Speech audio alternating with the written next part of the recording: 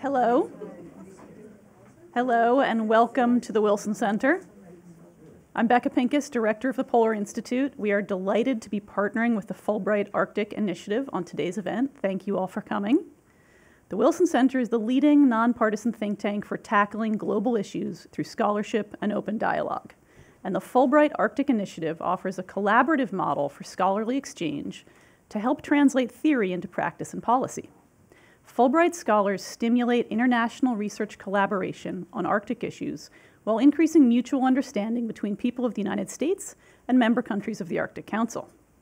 The COVID 19 global pandemic and Russia's war in Ukraine have had profound consequences for global cooperation, and the Arctic has not been immune.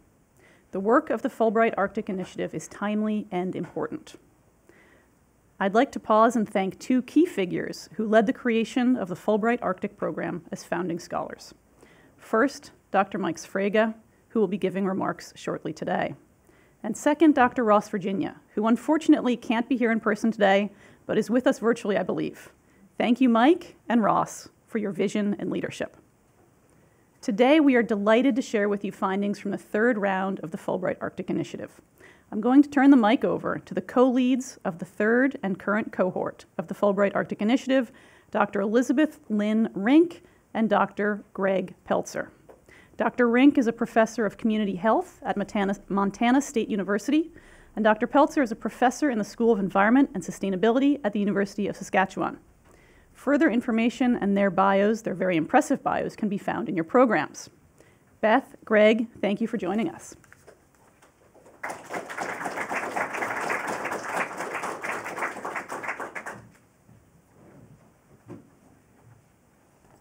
Thank you very kindly, Rebecca, for that warm introduction and uh, for hosting us here at the Wilson Center.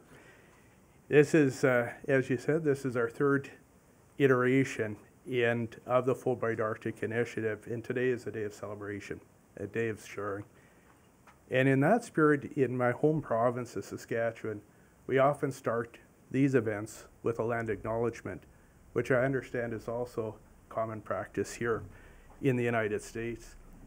And in that spirit, we wanted to acknowledge that we're on the ancestral lands of the Nacotchtank and the Piscataway uh, peoples, and we honor uh, their ancestral lands, their elders, past, present, and future. The Fulbright Arctic Initiative is part of the family of the Fulbright program, and in that it emphasizes both scholarship and cultural diplomacy. And among this group of 19 scholars that are here with us today and have journeyed on this program represents the very best of the scholars and practitioners who have been tackling some of the most urgent challenges that Rebecca has identified in the Arctic region.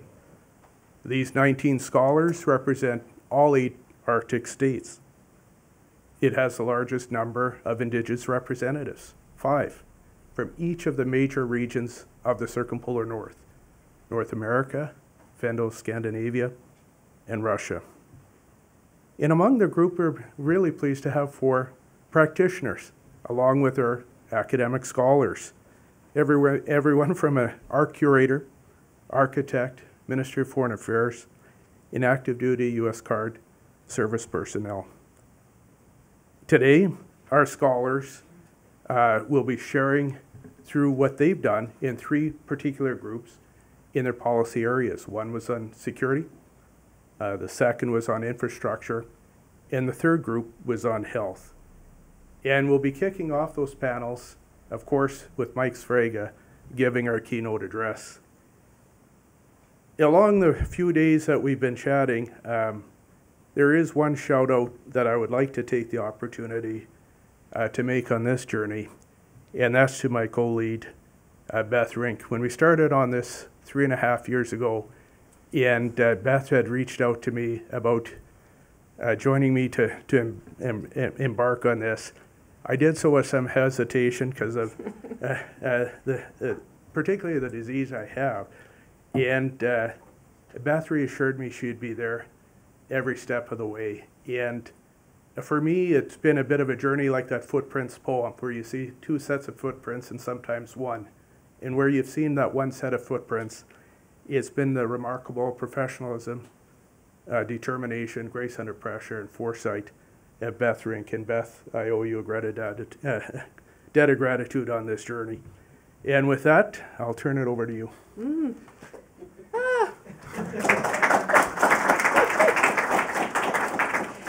Uh, my heart's pounding.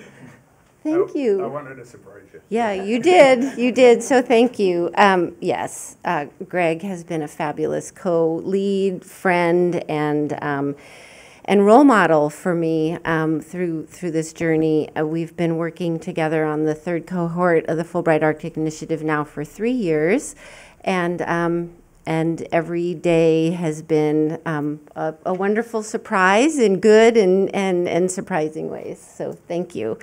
Um, so the Fulbright Arctic Initiative can't happen um, without the, the work and the partnership and the collaboration of many, many people. And for those of you that live and work in the Arctic and um, are passionately um, committed to the people and the places of the Arctic know that partnerships and relationships are the foundation of everything we do.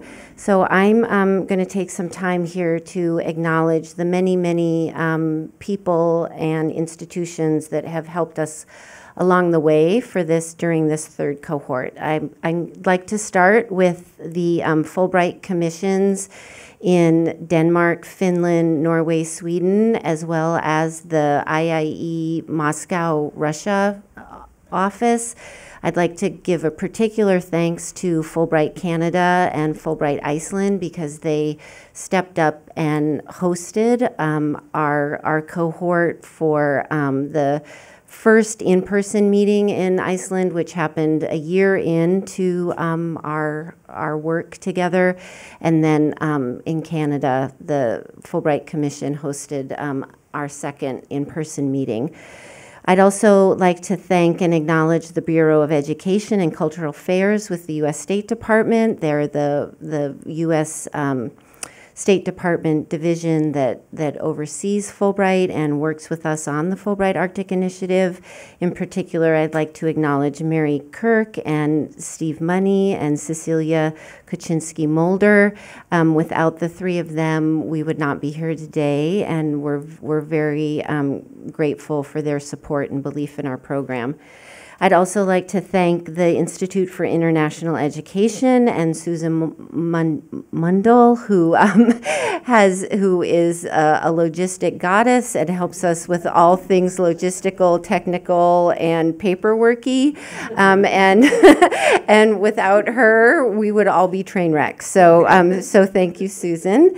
Uh, I would also like to acknowledge when we were in Canada, we had a wonderful opportunity to go into the Northwest Territories, um, and we were graciously hosted by the Gwich'in Tribal Council, the Inuvialuit Regional Corporation, the community of Inuvik, the Aklavik Indian Band, and the Nihtat Council. Um, they hosted us for uh, about four days, and we had a very wonderful experience with them. I'd also like to thank the Woodrow Wilson Center Polar Institute Institute. Um, Jack Durkee is also a fabulous technology person. and so we're, we're super uh, excited for him. And then, of course, Rebecca Pincus, who is just lovely and gracious and brilliant. And we're just so happy she's the new director of the Polar Institute, although we miss Mike. We miss Mike.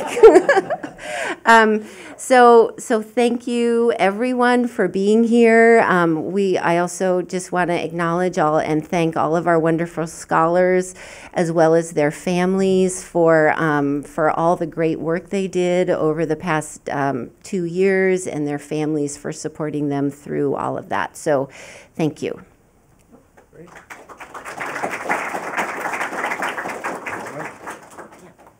Perfect.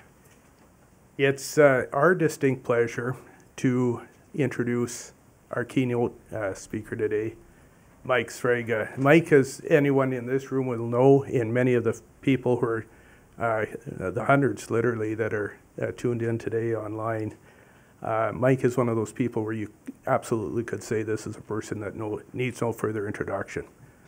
Everyone knows Mike. But not everyone online may, and I think it, we owe it to him highlight a, a couple of notable things. Obviously, as Rebecca pointed out, one of the co-founders and co-leads of the Fulbright Arctic Initiative, a founding director of the Polar Institute here at the uh, Wood, uh, Woodrow Wilson Center, uh, chair of the U.S. Arctic Research uh, Commission, and uh, nominee, of course, as the United States ambassador to the Arctic. But I want to take a moment that many of you who know Mike um, and paint another picture, uh, metaphorically and uh, really, about Mike. Uh, Mike Sfraga. Sfraga. Something I learned in 2015 talking to Mike uh, is Italian, his origins, uh, for a brushstroke, a brushstroke on a painting. And Mike has been maybe our most important artist of all in the Arctic region. And you think the delicacy of a paint stroke to capture feelings, emotions, values, places. An artist can capture things that a photographer cannot. An artist can capture both the seen and the unseen and emote, inspire, lift, and embrace. Mike, you have done that with so many people, whether it's on the streets of Fairbanks or in the halls of Washington, D.C., or at Arctic Council meetings. You have been a friend to all. Like a good artist, you've seen into the hearts and souls of places, communities, and people. You inspire and bring out the very best in each of us. You continue to paint a tapestry of the Arctic, its people and places, and why this is so important to global humanity. And that, we thank you. And with that, I invite you to be our keynote speaker.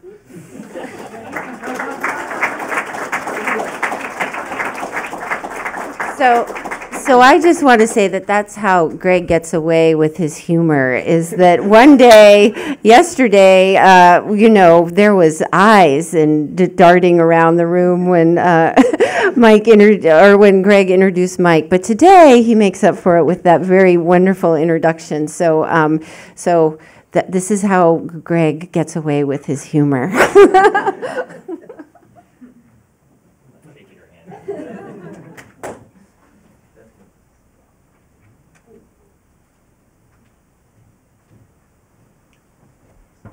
I just don't know what to do with that. Thank you, Greg and Beth.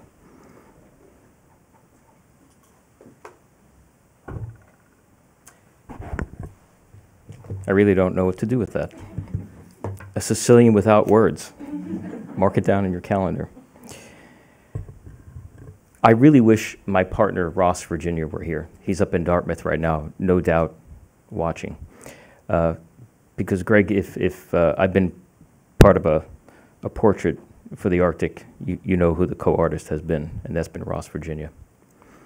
Um, let me say to you that when you start something like the Fulbright Arctic Initiative, you have an idea. When you start a Polar Institute, you have an idea. And you get put into a box of a founder, whatever that might be. But in any position, when you leave, at least I think so, when you leave, you want to leave whatever you have helped to build, along with many, many others, you want to leave it in, in fairly good shape. You wanted to at least aspire to the mission you set out, and you surely want your the next team that takes over for you to be better than you. You want them to be better than you because you cared about what you created, or else you wouldn't have created it, and you want it to be better, whatever that means, even if it means deconstructing and rebuilding. That certainly has happened here at the Polar Institute with Rebecca now being, being the director of the Polar Institute. You always want somebody to be better so that whatever you put into place becomes better. I think it certainly is the case here with um, Beth and with Greg, that whatever Ross and I envisioned, along with IIE, along with the Fulbright program, along with state, along with the um, country directors and commissions that comprise our efforts in the North. And, and by the way, you need to underscore that because they already run Fulbrights. And then we came in with this new idea and they embraced us. And they simply didn't have to, but they did. But when you put all that together, you want it to grow and you want the next leaders to be better. And I think, like we got the Polar Institute right with Dr. Pincus, we got the Fulbright right by picking two alums who are of the program, who feel the program, who come from the DNA and, and understand it, but they are of the North. And when you are of the North, it's just different. It's not just an academic exercise. So, Greg, Beth, thank you for making whatever vision Ross and I had, along with all of the people that worked on it, just better, because it does start at the top. Thank you, and congratulations. There's 400,000 plus Fulbright scholars. I think that, that number is kind of right, over 4,000.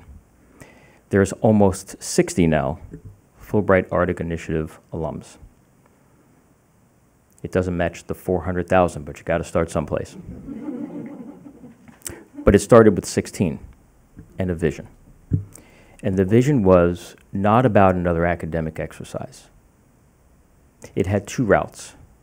One was to create a program that complemented the U.S. efforts during the chair, their chairmanship of the Arctic Council. And the second was to bring together the best and brightest of the North to address the issues of the North, not in an academic paper.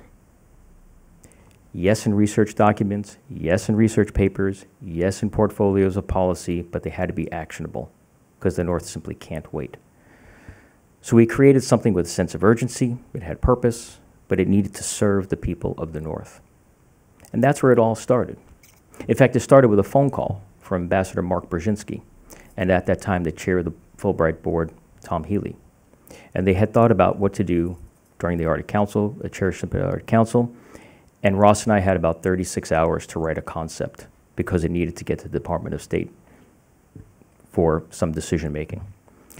And Ross in Vermont and me in Fairbanks wrote in 36 hours what you all have built and you've all made better.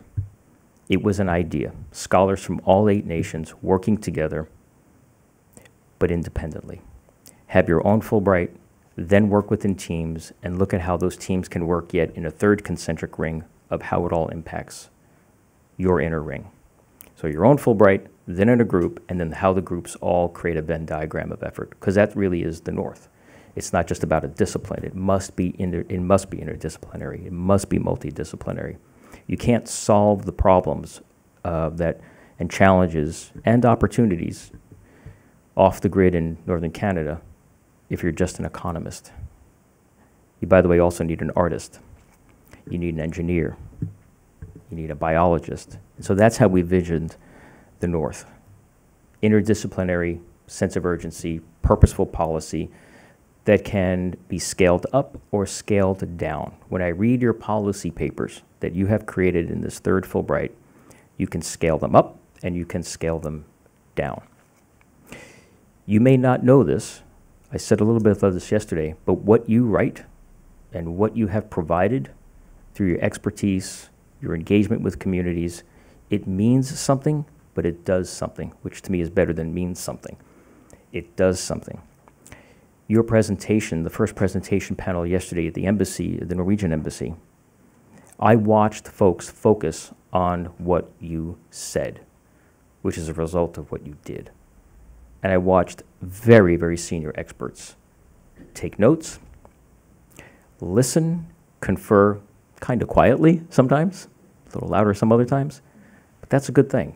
You made wonderful experts who do this for a living think about what you have been doing and what you have done, and how to put into action what you said.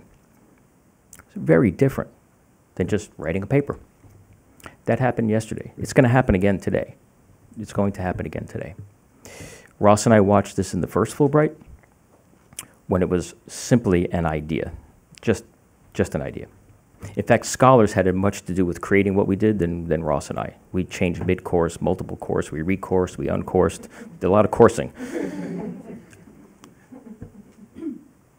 It's because we listened to communities, we listened to scholars, and we constantly had to reiterate where we were trying to go because the North doesn't stand still. So we watched the first Fulbright folks create a bunch of policy papers, and as Greg noted yesterday, there's legacy here. And to me, legacy is excellence over time. That's how I view legacy, excellence over time. So even today, the first Fulbrighters, they're still working together, writing proposals together, consulting together. They're doing the work of the North because we brought them together. They'd be doing it anyway, but they're doing it in those concentric rings. Second Fulbright, same way, doing things of the North for the North, and they built a team. It is clear from this document and just watching body language that the third Fulbright will have the same energy and synergies going forward. I would argue that what you have built in some ways is built on the former Fulbrights, but you've gone through a very different time. You are influenced by some very different things, right? You're influenced by a pandemic that almost shut down a globe, that changed lives, that changed communities.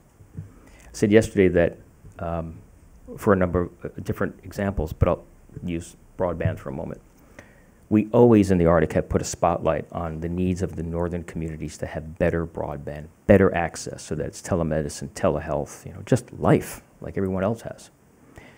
Well, we tried to put a spotlight on that. COVID, COVID put a heat lamp on it. What we don't have, what it really costs communities. The fact that families had to pay four to five hundred dollars a month just to get an internet connection in some places, and then wait a half hour for, for, for a PDF to download. That's interesting and it's challenging, but when you need health information now because your community is undergoing a pandemic and you don't have, you have but one nurse clinic, one nurse in a clinic, that's a problem. And so you have lived through that real life experience. Try to separate yourself six feet when you have three generations living in one home. Okay? It might be easy for some of us, but sure not easy for people living in many places in the north and elsewhere in the world. So you've gone through a pandemic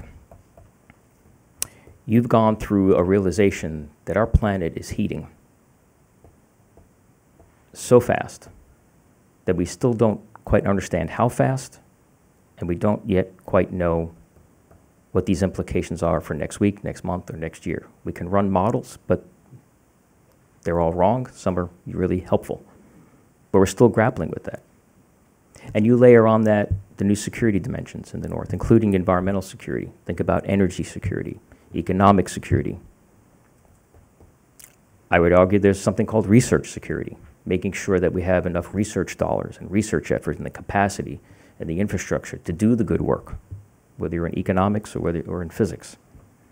So you're, you're living through a very dynamic phase here. I would argue that if we didn't have a pandemic, the resulting challenges, we have a ground war in Europe, we have energy crisis that is making us quickly think more about and investing more in a transition. There's this ripple effect, and you've had to do this in real time. We didn't have those challenges like this in Fulbright 1 and 2. But that's the beauty of this Fulbright and the other Fulbrights, is that you can revisit, rework, revitalize, and do the good work, in this case, for the North. I would also say that I think this program fits well with the DNA of Fulbright. This is the United States reaching out and inviting countries to come in. Different perspectives, in this case, on the North. And we've become a globalized North, right? We're no longer that place over there somewhere, right? We are integrated. It's done. Whether you're thinking about fisheries or trade or our languages or tourism, we're now all interconnected. So you have been working for the last, has it been three years? For the last three years, right? More, or less? About two? You've been working between two and three years through a very dynamic time. But I'd argue that it's going to be even more dynamic just because of the realities that we live through and we're going to live through. Okay, that sounds dour and dark, and it's not. Because what you have provided in your policy briefs are really wonderful pathways to dealing with change that's coming whether it's political or environmental or economic, whatever that is, you're providing us pathways to actually deal with and maybe take advantage of where it's appropriate and right what the future holds for us in the North. You're also raising the awareness of the North, how important it is to the rest of the globe. And you're doing it in a way that I can tie to a number of different things that are currently happening. One, because I am the chair of the U.S. Arctic Research Commission, I have to put adjacent to each other your policy brief of 2023 and the Research Commission's goals for 23 24. We are an independent federal agency, seven presidentially selected commissioners. Our job is to help set the course for U.S. Arctic research for the next two years. It goes in two year cycles. Seven commissioners, five Alaskans, four women, three Alaska Native women. The lens through which we have done our work for the United States is impacted by who we are and where we come from, this lived experience. Five of seven are Alaskans. If I were to take our five goals, which I did, and overlap them on your policy brief, which I did, I think we both got it right. I think we both got it right. We talk about health and well being. We talk about economic development and research. We talk about natural hazards. Uh, we talk about uh, international cooperation, talk about health and well being, maternal health, communities' needs, community health writ large. We did this for the United States and our partners. And then here comes along your brief that you've been working on apparently between two and three years. and I can do, and I did, a layover. So if you don't think these do not have impact, they do. Because these two in my portfolio now come together. And that's the power of the Fulbright. It's not just an academic exercise. I know you got a lot out of it. But it's when somebody like me and others can take what you have done and look at what we're doing and say, this actually informs and advances what I'm doing here. That to me is the magic of this Fulbright. And I can tell you, you have done it. So thank you for doing that. You've taken a little work off our desk. But if I'm telling you this from my perspective, from a US perspective, not just seven other nations are going to do that, but any nation who cares about the Arctic is going to look at this policy brief. And if they're good and if they're smart, they're going to do the same thing. They're going to take what you did and they're going to incorporate it into their work. That's the magic of the Fulbright. That was the vision Ross and I had. Actionable work by some of the brightest on the planet. I think we got that right. I think we selected two wonderful co-leads in Beth and Greg. And there's nothing better than somebody like me and Ross watching online to watch what has happened to an idea that started with a phone call, 36 hours of some kind of paper, that became a Fulbright that's now been institutionalized. So thank you for your work. Thank you for your leadership. And open your arms to what lies ahead in the next year because you will not go away from each other. This network will stay, and we benefit from it. Thank you.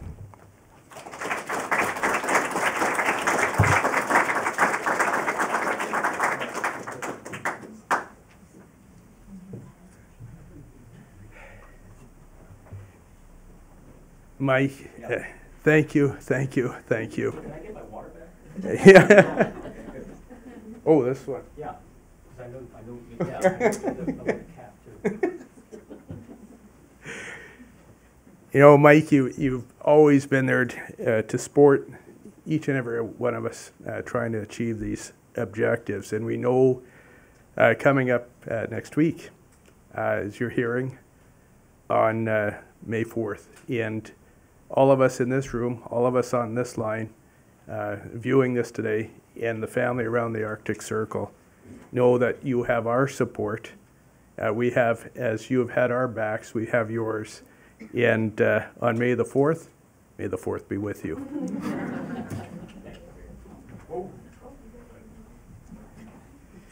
yeah. Now, I have to introduce uh, our panel. So I invite the panelists to come up.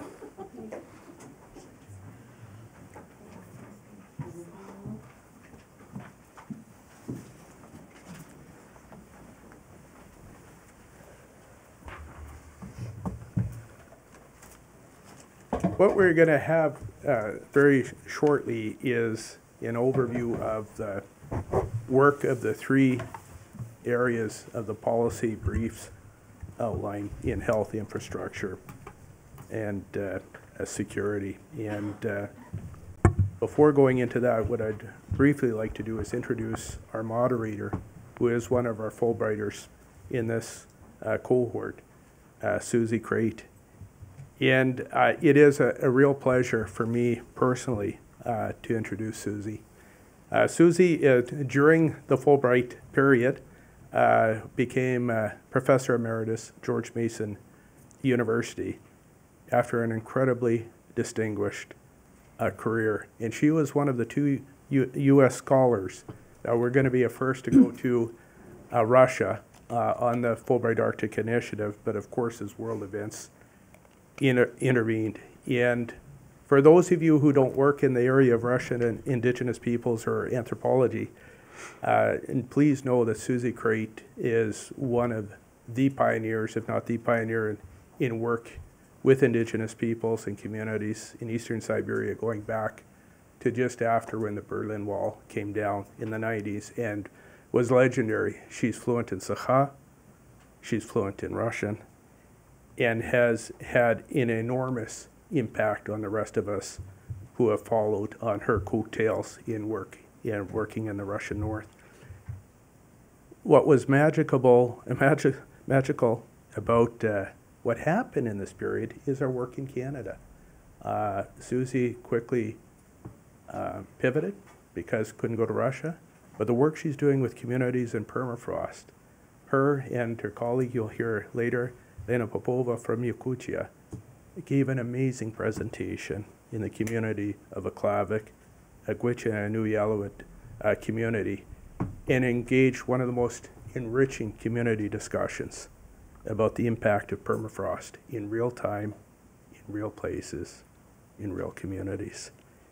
And with uh, and, and frankly, just hit it out of the park. Um, it was really, really important, especially the cultural diplomacy mission uh, and actionable items that Mike talked about in his talk. So without further ado, Susie, I'll let you take it away. Well, to quote someone else, I don't know what to do with that. Thank you, Greg. That was very generous. I appreciate that. And of course, I'd like to start by expressing my deepest gratitude, and I'm sure the gratitude of my other 18 peer researchers for everything that's gone on in this two or three year period. it has been sort of a time warp, I must admit, with all the changes. So I'll begin by saying good afternoon. My name is Susie Crate, Professor Emeritus of Anthropology at George Mason University. And over the course of our two year Fulbright Arctic Initiative 3 fellowships, we each collaborated in one of three themed interdisciplinary groups security, health, or infrastructure to come up with policy recommendations.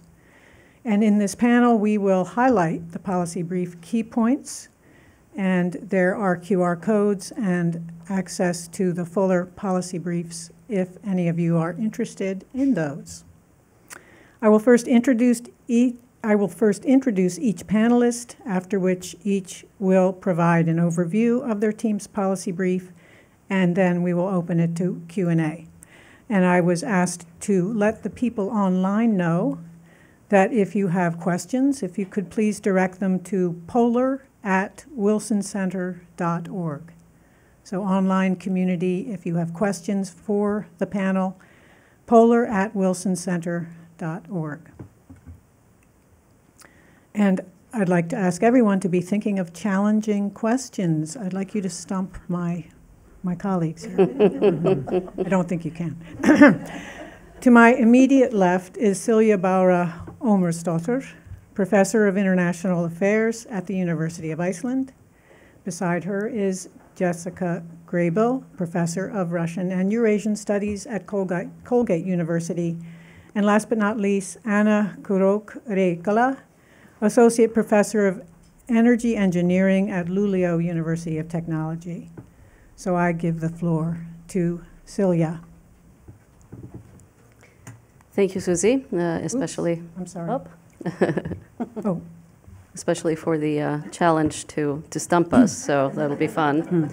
Um, Good afternoon, everybody. Thank you for being with us both here in the room and online. Uh, I want to start by expressing my thanks to the Fulbright uh, in general and the Fulbright Arctic Initiative for the opportunity to be here, engage with his cohort over uh, the two years of uh, very strange, long online meetings and uh, and very uh, long-awaited in-person meetings that we've had now three over uh, in in just under a year.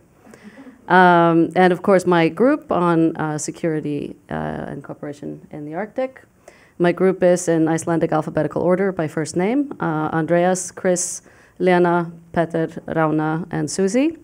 And uh, up here on the screen, you'll see uh, our backgrounds, which I hope you can see is uh, quite interdisciplinary.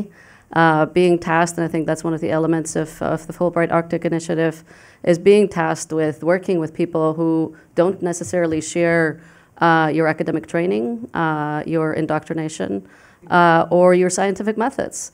And that has been a challenge and, uh, and a great opportunity to expand our knowledge and understanding. Um, we met a few times online, uh, in addition to our, our uh, cohort meetings, to talk about what it was that we wanted to do. And we found that our understandings of security were very different. Um, and uh, that led us to conclude that we needed to talk about the interconnectedness of all these different ideas and how they, uh, how they relate. Then we had to think about how we could make that into policy actionable, uh, deliverable, the policy brief that is available to you here outside. And that led to another extended round of discussions. And as we all know, security, and in particular national security, is an opaque process.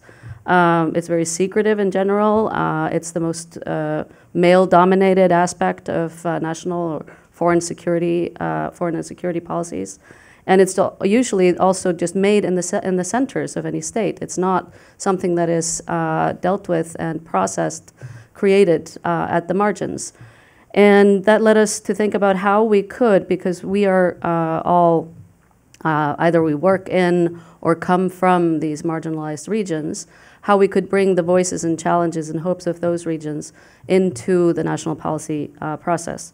We talked about the impact of permafrost on, uh, uh, on the residents of Sakha. Uh, we talked about how nuclear submarines in Tromsø, uh, northern Norway, were impacting the community when children started to be given uh, iodine to to counteract possible radiation, and how that creates a sense of being um, marginalized and ignored even by your, by your national governments. So we thought, how can we take national security policy, the reasoning and the intent behind them, uh, and communicate them to these uh, marginalized populations in the Arctic? The, as I said, the national governments are often located far away from the communities that are directly affected uh, by the decisions that are taken about security. Uh, but we also wanted to think about how we can take these, uh, the ideas of those communities and communicate them to these national, regional uh, governments and local governments. So that's where we set out from. Uh, and how to do this, uh, we decided that we would uh, organize town halls, consultative forums in the areas that we're either living in, working in, or visiting. And now on the screen, you'll see the picture from our, from our policy brief that indicates where we had these meetings. There were a total of eight, and uh, I think we got a fairly uh, complete circumpolar coverage, even though they were, uh, we could, of course, would have wanted to have more. Um, and the conversations were very different. Uh, they focused on the economic and environmental impact of the military presence in Iceland, uh, the expansion of a runway in Inuvik, uh, the impact of permafrost in Dirin and in Aklavik, the dialogue between the local community in Longyearbyen in Svalbard uh, and the government in Oslo uh, in light of the war in Ukraine, the need for more formal inclusion of local concerns in Tromsø and uh, national security policy, dual use aspects of military installations and activities in Nuuk, uh, the uh, impact of both Danish and US uh, militaries in Greenland, to the need for early and ongoing communications to implement policy in Anchorage. From these very different conversations. We developed um, rather specific policy recommendations uh, based on the findings to help formal policymakers co-create policy with Arctic communities. So the question then is, how do you do that? How do you co-create policy with Arctic communities? And we identified six different steps or ways to do this. First is how, who do you include?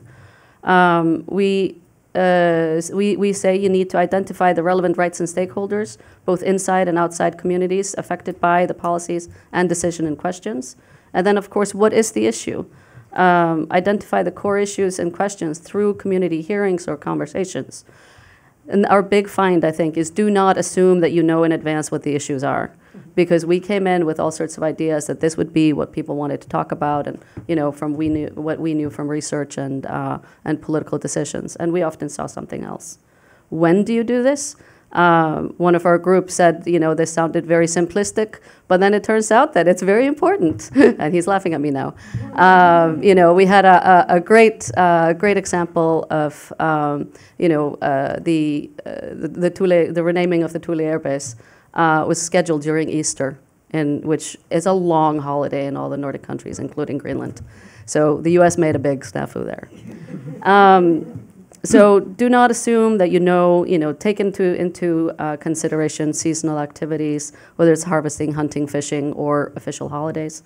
Um, and do not assume that, you know, your time schedule is, is the same as the community that you're interacting with. How do you communicate? Sometimes you may need to take into consideration that interpretation is needed, but also take advantage of any existing communication modes or networks in communities. It can be a Facebook group, uh, but it can be a bulletin board in the local grocery. Um, and then the big, big ask is how do you co create? There's an, uh, it's absolutely essential to work collaboratively to draft the policy and develop implementation and monitoring plans to reflect the security needs of all rights and stakeholders include community members in reviewing the, the policy while it is being drafted. And don't forget to schedule follow ups. Determine the schedule and the process, who will share what, when, where, with whom, and how will community feedback be incorporated into that ongoing policymaking we found that, uh, that, that this level of uh, community, community engagement would benefit security policy creation for both formal decision makers and for Arctic, local Arctic communities. For example, by building better long-term communication channels between decision makers and Arctic communities, better aligning goals and priorities of all parties, uh, more equi equi equitably uh, increasing, uh, involving all relevant knowledge systems, whether they be indigenous, local, or scientific, uh, or all of these. Um, increase community resilience and security, and ultimately enable more effective implementation of national security policies. And to sum it up, our recommendation to policymakers is to include all relevant forms of security, such as food, environmental, energy, gender, health, economic, and cultural security, when developing security policies through active and meaningful engagement with Arctic communities. Thank you.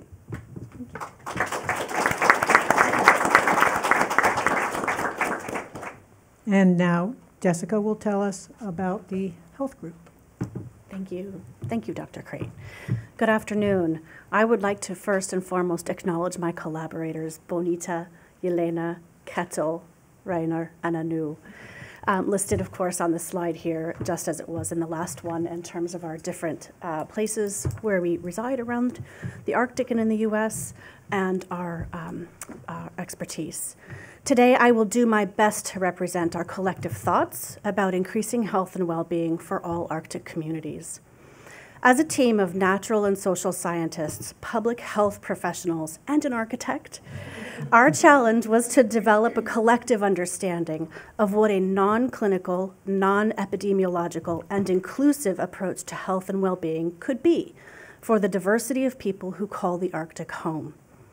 From the beginning, we aimed to consider the needs and desires of Indigenous communities, especially those of youth and elders. As we continued to work, we also recognized that newcomers to the Arctic also have needs and desires for health and well being. As our two to three years of teamwork continued, um, it became increasingly important that we, we must also consider the needs of the newest newcomers to the Arctic asylum seekers and refugees. As good collaborators do, we spent time agreeing and disagreeing and inching and leaping towards common ground. And we found that common ground by recognizing that in order to address the health and well being of youth, elders, Indigenous communities, and newcomers, we would need to recognize and approach the European, North American, and Eurasian Arctics as diverse and heterogeneous, where a one size fits all approach can only be a long term approach and dream. Thus far. So, diversity and inclusion have become central to us in our policy recommendations towards equity in health and well being in the Arctic. Beyond the obvious focal points of concern that we've heard a little bit about here today, such as mitigating climate change and continuing to empower Indigenous communities, we advocate for a multi pronged approach to address six foci noted here on our slide, thank you, Dr. Crate, that integrate these concerns with others related to health and well being. You can read about all of them in our policy brief, but today I'm going to highlight three. First, engage the diversity within and among Arctic communities. This means attending, first and foremost, to the health and well being of Indigenous communities. But we must also consider the needs and desires of newcomers, including the newest members, asylum seekers and refugees from multiple countries. We must collectively develop best practices to address multiple demographic groups. Second, create the social infrastructural capacity to address the mental health concerns of everyone within any community. For example, train new generations of health professionals capable of communicating in local and indigenous languages who respect and know how to integrate traditional and other knowledges into health and medical practices. Understand that addressing mental health is not stigmatic, but a necessity in a rapidly and continually, tra- continually transforming cultural, socioeconomic, and environmental setting such as the Arctic. Third, plan and construct infrastructure that is culturally and environmentally appropriate for youth, elders, newcomers, and Indigenous peoples in these communities. Include local and Indigenous participation from the very beginning. Stand with Indigenous communities to ensure continued rights and uh, that uh, continued rights and access to land, an immeasurably important aspect of health and well-being that recognizes the human animal environment nexus. Build health facilities that incorporate spaces for the spiritual and medical needs and desires of all Arctic residents. These three recommendations and examples, and more, are found in our policy brief. We hope that this brief may be built upon to become a guiding path for continued community oriented and culturally responsive development of health and well being in the Arctic.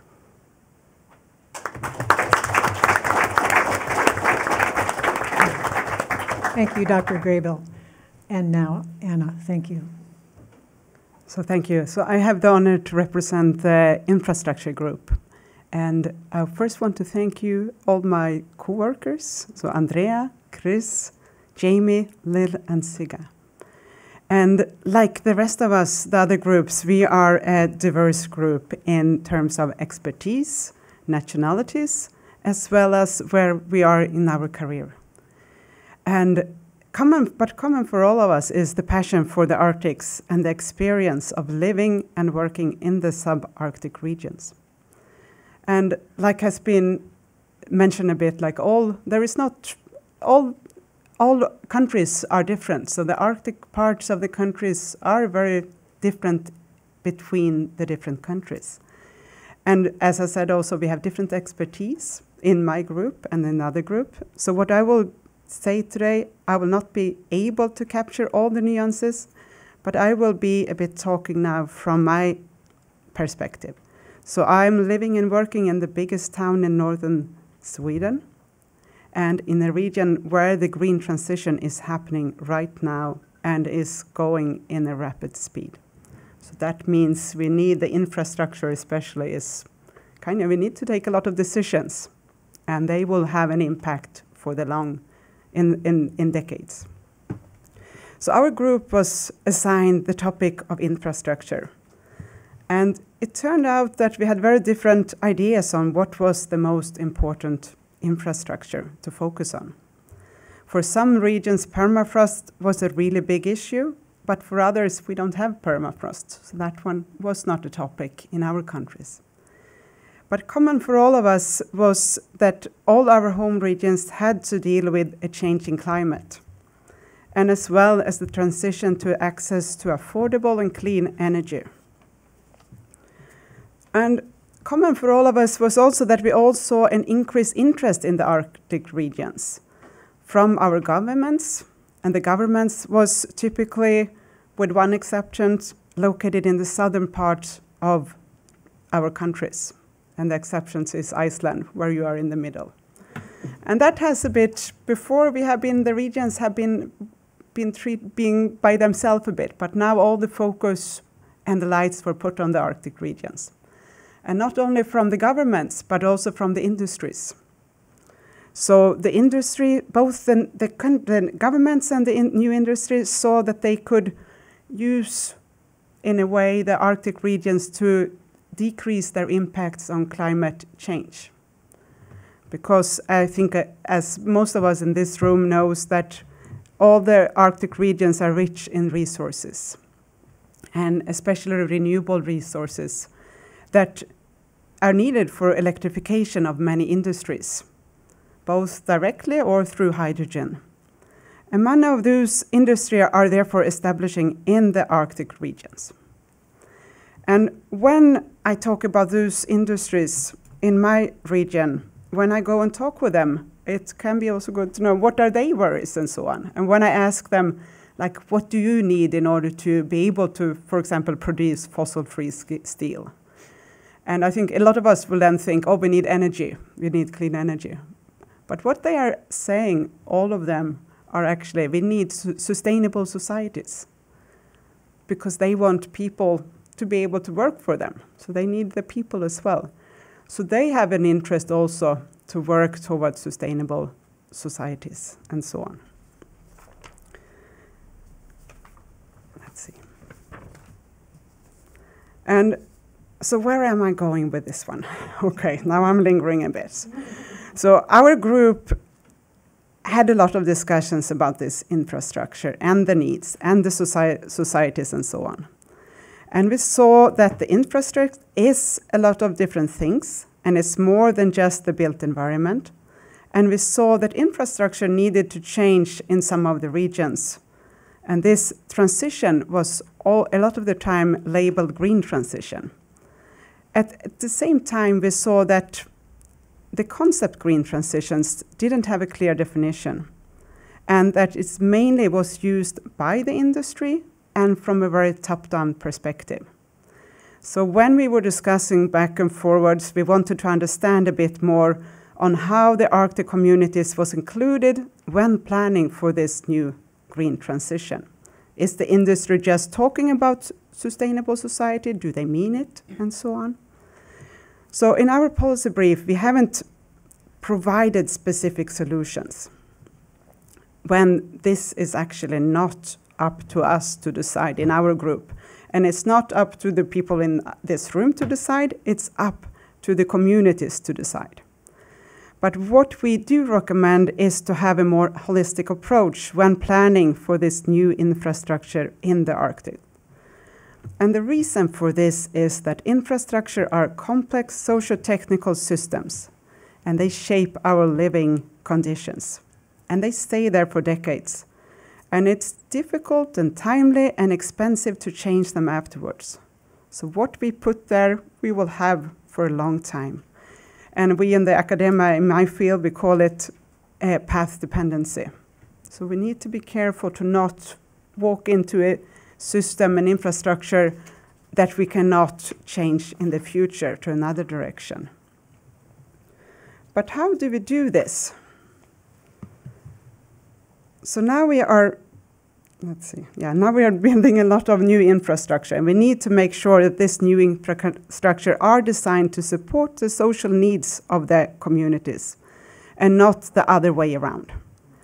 And this brings me to our first real policy recommendation, and that is the one on infrastructure And then we recommend to that we really need to focus on supporting the community needs for sustainable sus- solutions that en- enables future development in the communities. And this means both to facilitate renewable energy supply solutions and storage, as well as sustainable buildings and transportation system that interact with and are a part of the comprehensive energy system. So when we plan for energy, it's not just for those big industries or in the new industries. We also make, need to make sure that the communities have what they need. And in order to get those infrastructure in place, there is a need for policy infrastructure. And that this is aligned with the priorities of the communities and not only of the industries. And the policies on are different they need to be put on different levels and they need to be able to change and adjust quickly in order to consider new conditions that come up in the arctics. Because we are moving kind of fast now so then we also need to have the policy in place there that can kind of adapt. So now I have been talking about the importance a bit of considering the needs of communities, their conditions, and their priorities. priorities. But how do we do this? The Arctic communities have tons of knowledge, but they do not have all the expertise that is needed for this. And they don't know exactly all the options that they may have. So there is a need, and that is our final recommendation there is a need for some kind of knowledge infrastructure. And with that, we mean an infrastructure that can empower local people with knowledge about both the benefits and the drawbacks of different choices so that they know what they are choosing between. And also to be able, yeah, so they know that they are choosing between. And one such example would be, for example, to create platforms where culture leaders, civilians, and all kind of expertise can meet and exchange ideas. And when talking about experts, this brings me to my last point. And now we, I think we have some policymakers here and some policymakers on the online, I hope. And with the expertise, I would say that expertise is not necessar- necessary coming from the south. So keep there is a lot of expertise in the north. So make sure to, for example, put funding into the university in the north to kind of empower them as well. And hire local architects and experts when designing the new cities or, or communities. Because they are living the life already and briefing the area in the region. And they are aware of the conditions. So use them. And with that, thank you.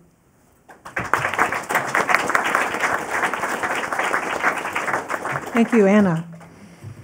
So before we open to questions from the audience, I would like to ask one that perhaps is on many people's minds.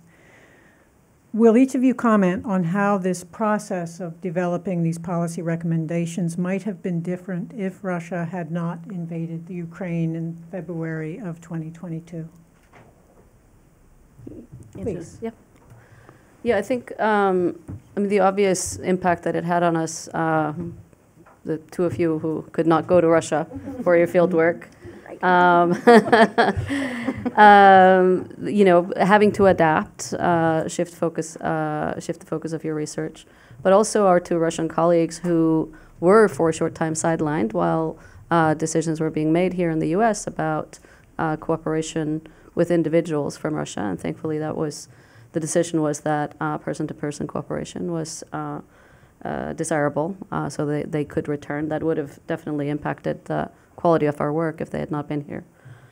Um, but in addition, I think um, having maybe specifically having Russia as the chair of the Arctic Council during this period meant that the Arctic Council was, uh, for us, um, basically not operating. We uh, did not see uh, events take place, the decisions and, and conversations that were developing there uh, as we were doing our work. So we could not respond to these in the same sense that we would have um, if, if that had not been the case. And um, maybe it also shifted our emphasis in the security group more to traditional security than it would have necessarily done otherwise. I think for almost all of us, the uh, possibility of, of us seeing uh, land war in Europe uh, was very remote, if not inconceivable, uh, a year and a half ago. Uh, and uh, that means that we, you know, have to take other things into consideration. And, and I see in, in data that I'm collecting now in Iceland that you know, the uh, urgency of the climate crisis is maybe not as great, uh, and people are more concerned by uh, the proximity of, of uh, armed conflict. So, um, so I think it's in many ways it's affected uh, the work that we were doing. Mm-hmm. I've got three short answers. So, for some of my colleagues in the health and well being group, uh, the pandemic and the ongoing concerns around COVID have had more of an impact than the Russian invasion. I think we can't forget that one too, in terms of things, big things following on, on, uh, one after the other here. Our uh, Fulbright colleague from Russia would have been able to participate in this program with less distress um, had this invasion not happened, and that is certainly something we all wish could have been the case.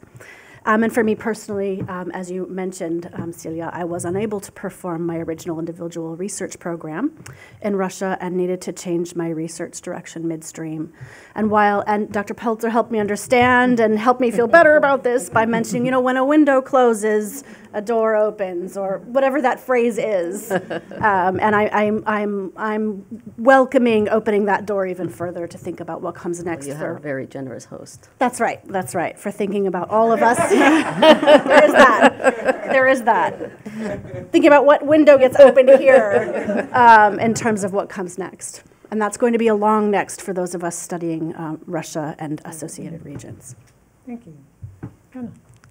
Yeah, we, we didn't have any, anyone from Russia in our group or no, no one planning to ru- visit Russia. But I think for us, we, green transition was not the first focus in our group.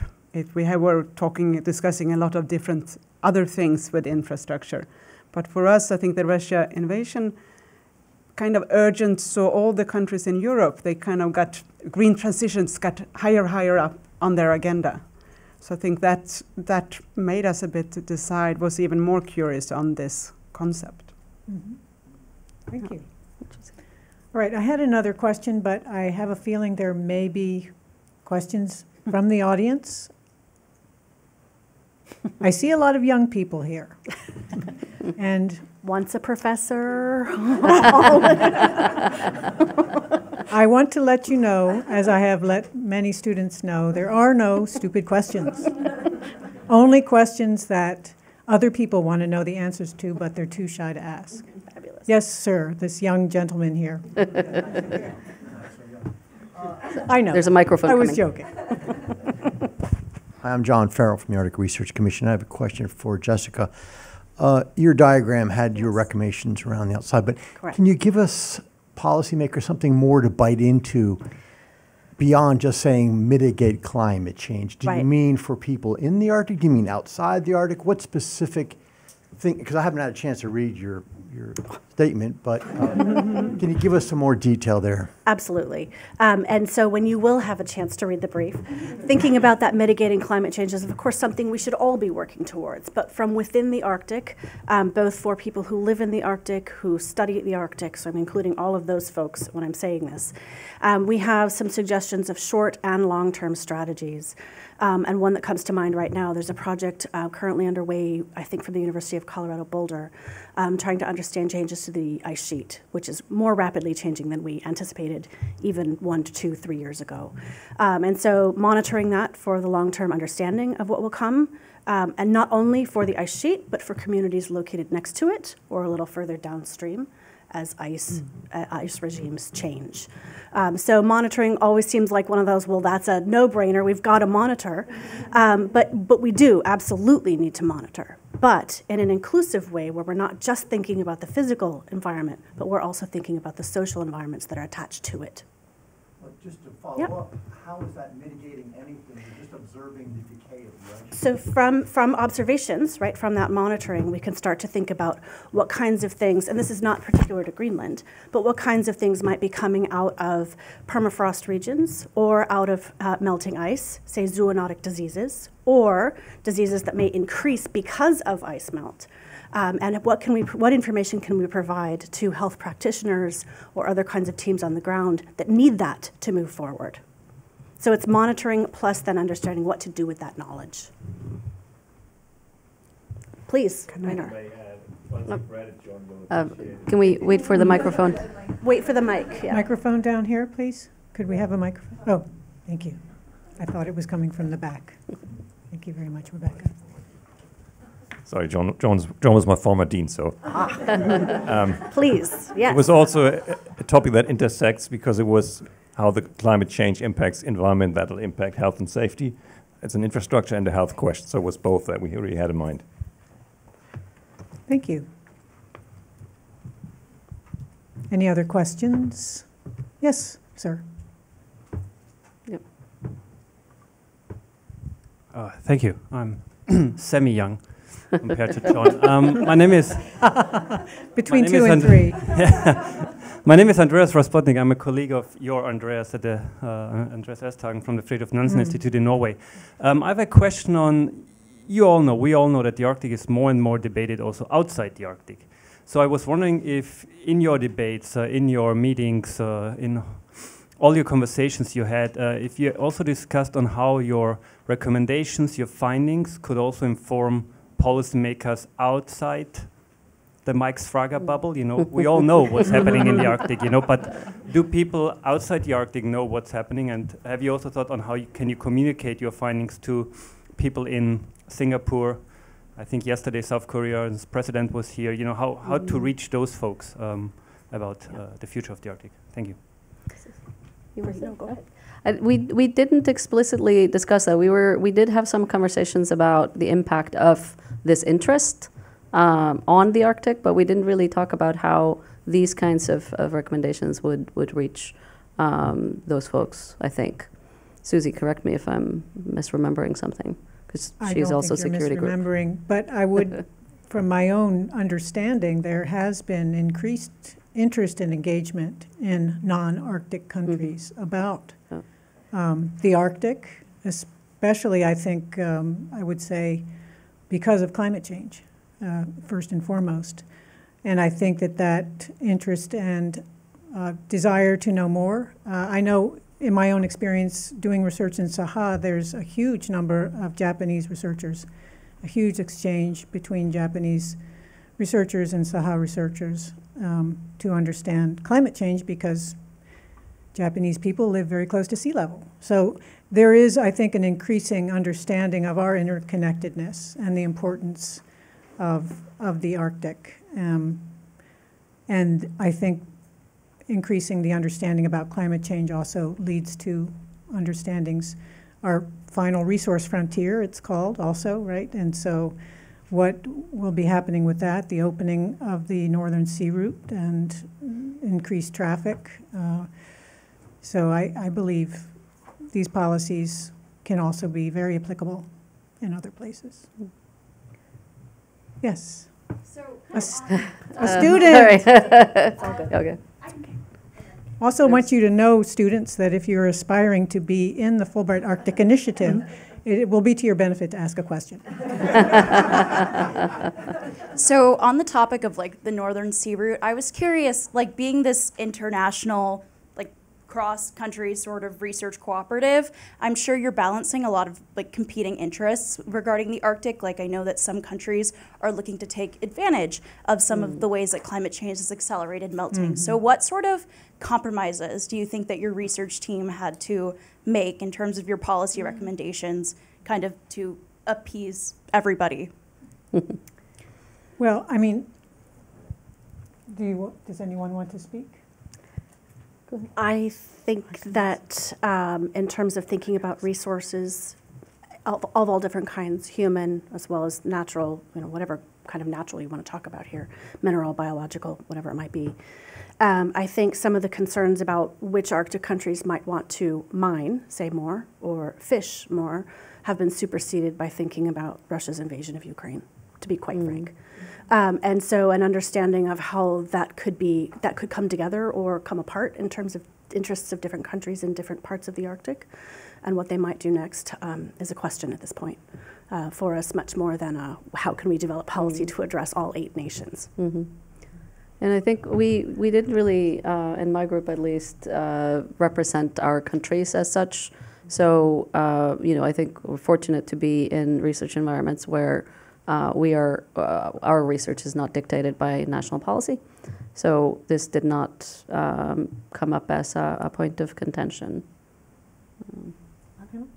I think, yeah, t- talking about energy, I think some, I mean, renewables is kind of like what the International Energy Agency and so on promote. But some countries are, it's also free for all different kind of countries to choose their path. Mm. And we have different, talking about resources again, some have a lot of fossil fuels still, and their economy is based still on fossil fuels. So how fast that one is phased out could be one sensitive issue why you cannot go forward with with maybe what you, yeah, what some countries would maybe prefer.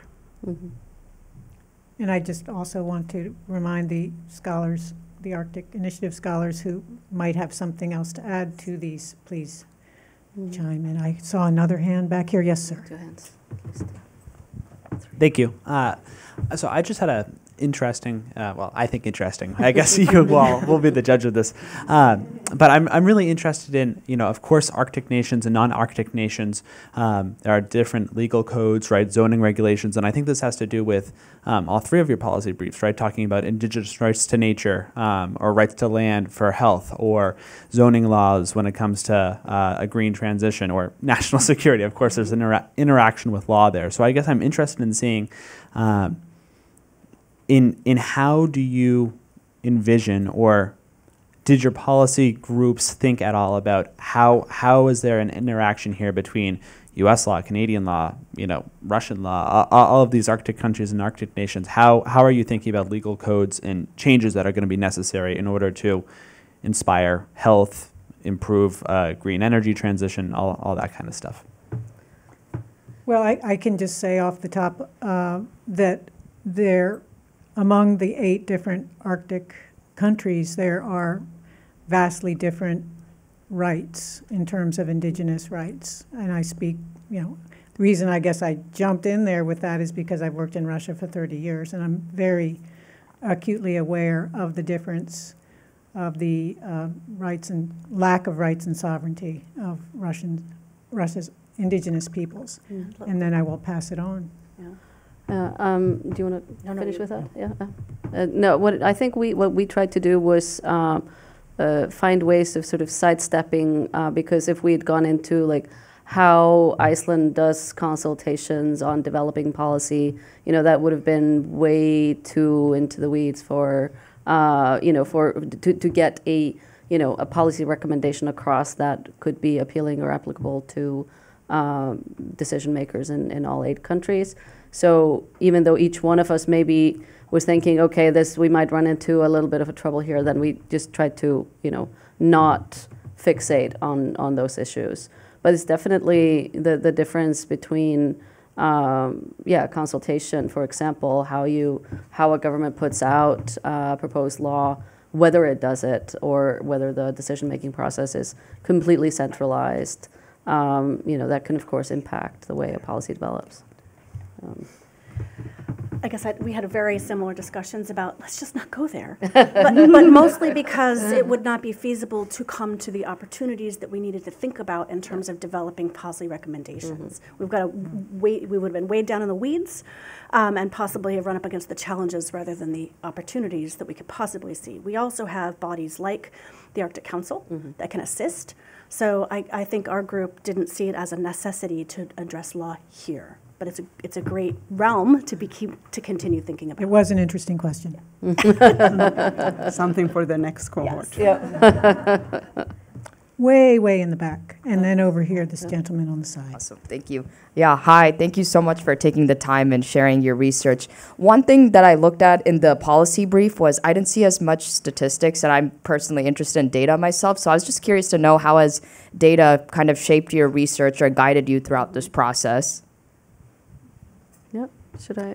Anything? I can. You, Yeah, please. I think, I think. Yeah, um, in, in the security group, we, we went, um, we sort of uh, took opportunity of the opportunities um, that were available. So sometimes it was engaging only in conversations, sometimes it was more in depth. Uh, and for the Iceland, if you, if you take a picture of the QR code in our brief, um, you'll get uh, sent to our uh, technical report, which gives a little bit more summary, uh, more detailed summary of each event. And in Iceland, I actually conducted a survey of the area around the uh, airport, which used to be uh, a U.S. military base and continues to be a base, even if it's not permanently occupied by uh, the U.S. military anymore. And sort of, so from there, I developed the questions that I wanted to have a conversation with uh, about with the population there. So, uh, so some there there is some of, of some quantitative data available, but most of our data in the security group was uh, qualitative. And I can add to that. We also mainly have qualitative data. And the reason is that we were a highly cross disciplinary group. So there is very, and we had several, uh, I think two, at least two of, you were working mainly on also qualitative. We have an artist, an art curator, and an anthropologist. So, and I think going between the disciplinary, we need to do much more than just crushing data. So I think it's it's more about we. What we instead used a lot of time with was talking about words. what do we mean with the word? When can you use which word, and and when can a word not be used, and so on. I think that was the main data, and also to understand how different words are used differently. And I'll just add that for commu- thinking about health and well-being, apples and oranges in terms of what's collected and understood and defined in different countries. The gentleman on the side with the wants to add blue. something. tie. Oh, I'm sorry. Lil wants to add something. There's Hi. Even though I'm the anthropologist in the group, I would say when it comes to, to the Arctic, there are tons of data.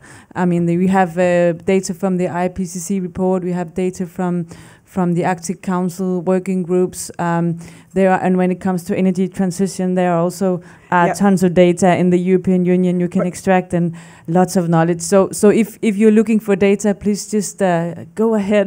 yeah, good, yeah, good. I mean, yeah, we. I mean, I as well. I work with energy statistics, so I mean, there is a lot of data, but we didn't discuss them in our groups. So we are uh, ourselves are basing our research on on data, that was not what was derived in the projects.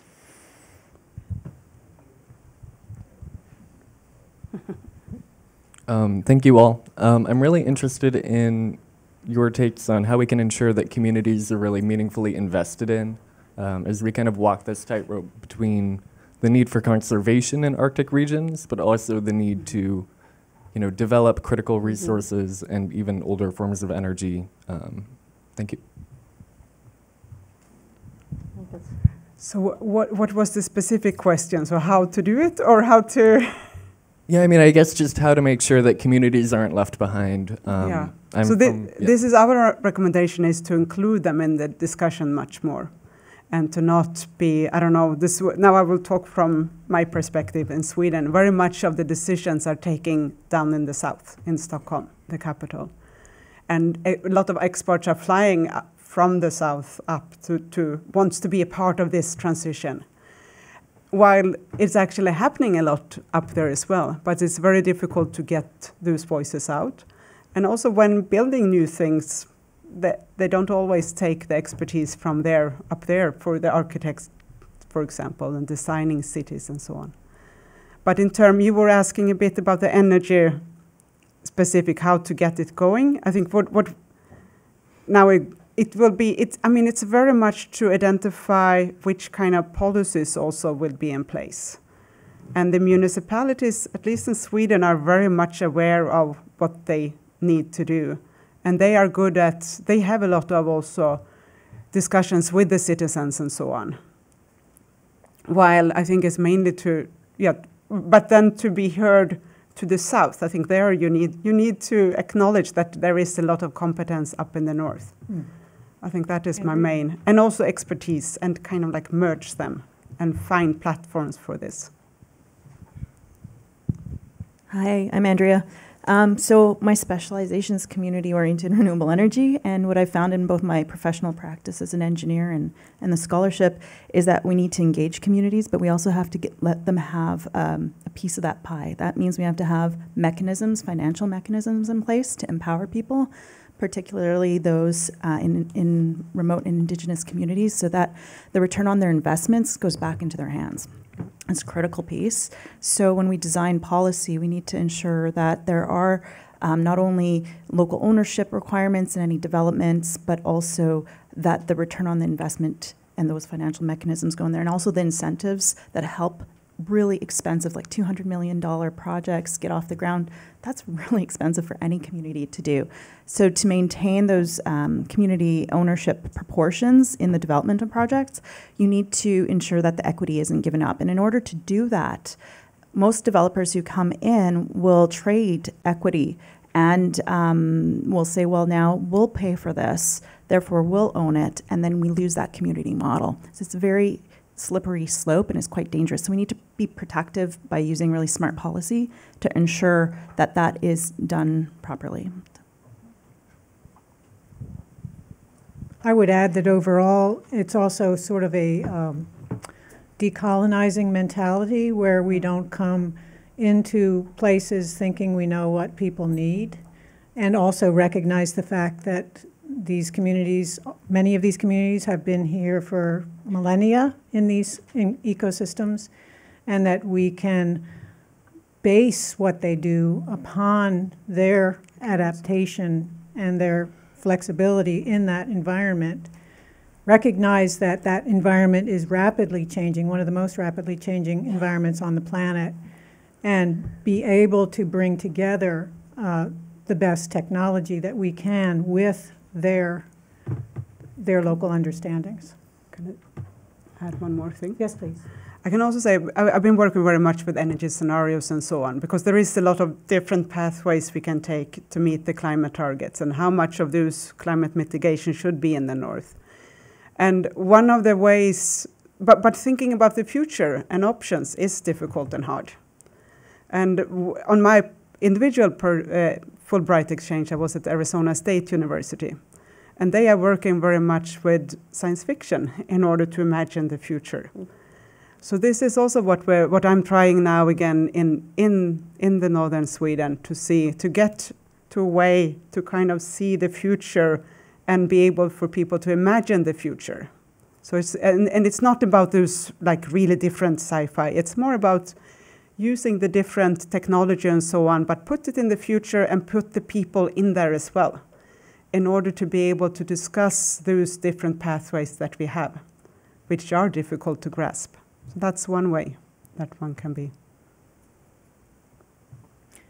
What's our time like? Okay, let's have maybe two more. This, I don't, I'm not keeping track of whose hands were up first, so you, you, okay, there you go. Uh, thank you so much. Um, I hear a lot about the challenges in the Arctic, the changing landscape, and also the consequences and repercussions of these changes, whether on health or even on the social infrastructure of the communities that, are, that live up there. And the like, I'm kind of curious, um, mentioning also neo colonialism, how we deal with reparations, and if that's a topic Mm-hmm. that's at all discussed about. Um, it's a very difficult topic. I know that, like in the international community, we've started to talk about reparations for climate change and the consequences of that. Um, so I'm kind of curious if you have any thoughts on how that should be, or if. Or, We'll start. I would say that we did not talk about reparations for climate change in our, in our work on health and well-being, although, uh, because I think where we are is still trying to understand. Exactly what the issues are for health and well-being as we can relate that to climate change. Now, it's not always relatable to climate change. There are other incredibly important things to consider the, in the Arctic, including pollution, um, path dependency of existing infrastructure for many, uh, uh, built infrastructure for many. Mm-hmm. So there's many, many other considerations. Um, I know it's one of those sexy topics in the classroom, right? Re- Reparations for climate change, and we're not there yet, at least from my perspective. We need to understand more. In some cases, that's monitoring and understanding exactly what's happening on the landscape before we can start thinking about what those reparations might be for climate change specifically. We didn't talk about reparations per se, but you know the, the idea and the ideas of the colonial legacies are definitely uh, relevant for, to think about security as well. Um, how are people still marginalized? Uh, whose voices get heard? What languages are protected and are accepted when they are spoken? Um, you know, it's uh, uh, all, all of these are colonial legacies that are just really important to recognize and uh, help to uh, combat. And um, I, I don't know whether reparations would be sufficient to uh, undo the damage that has been done. You know, some, some, in, in some sense, it would be they might be deserved, but will they be will, will they restore equity uh, or uh, create equity if it's never been uh, in place before? I, I have a hard time imagining that being reached. So then it maybe becomes more of uh, uh, a question of acknowledging the damage that has been done to various, um, um, mostly indigenous populations, local populations. Um, Maybe I can just uh, talk about that too as well. And Yes, I mean, please. if I'm Chris Clark McQueen, I'm uh, n- an Indigenous person from the Northwest Territories, which is really far north, and we um, actually my First Nation is called the Thisuk Dane First Nation, and you know it's been a very hard struggle about uh, these these types of things and trying to uh, go through reconciliation, which is going at a very slow pace, but much slower here than in Canada. At least we have processes of reconciliation in Canada. I haven't seen that. I haven't looked enough into it here, but I haven't heard about that much. But um, you know, for instance, we're just trying to take back different aspects of our culture, and we just, uh, my First Nation, which uh, the Tsuke Dane First Nation is, um, we just developed our own national park. And so it's, I think, the biggest national park in Canada, and we have some big national parks in Canada. And so we worked with the federal and territorial governments to, uh, you know, instigate it, plan it, um, and control it. So we have, you know, our people working alongside Parks Canada people and whatnot are all,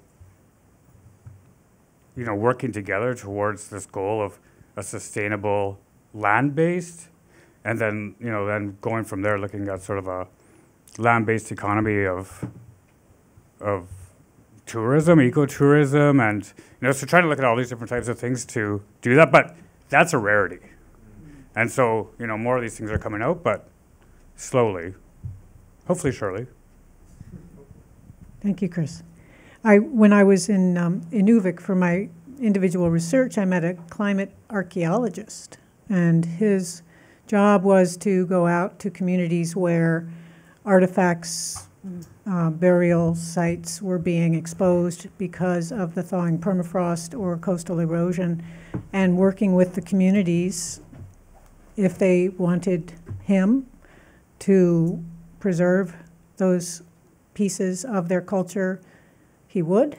If they didn't, he wouldn't. So, very different from in the past where there would be a collecting or, you know, the kind of precedence of preserving at whatever cost.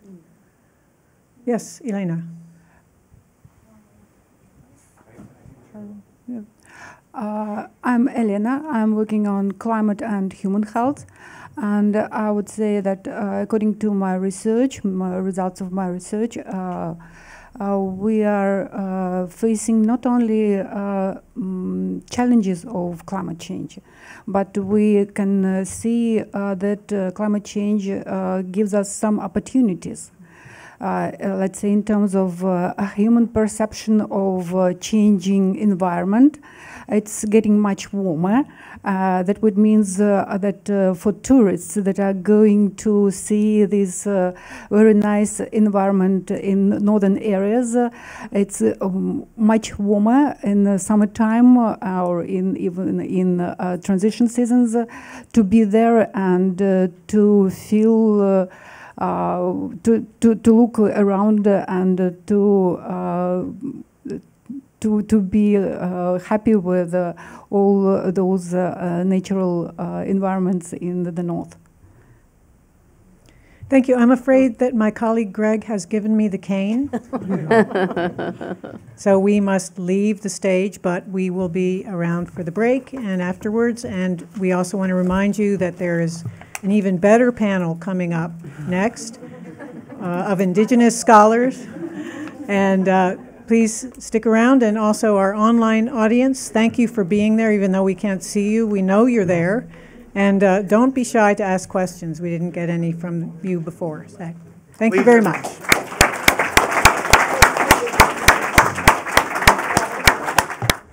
Could be. Okay, everyone, thank you for that wonderful discussion with um, panel number one of our Fulbright Arctic Initiative scholars. And um, we're on to panel number two, which is, of course, um, Greg and I are totally biased. We're like proud parents. Um, we have the second panel, um, which is a Indigenous a panel of Indigenous scholars um, that have participated in the Fulbright Arctic Initiative.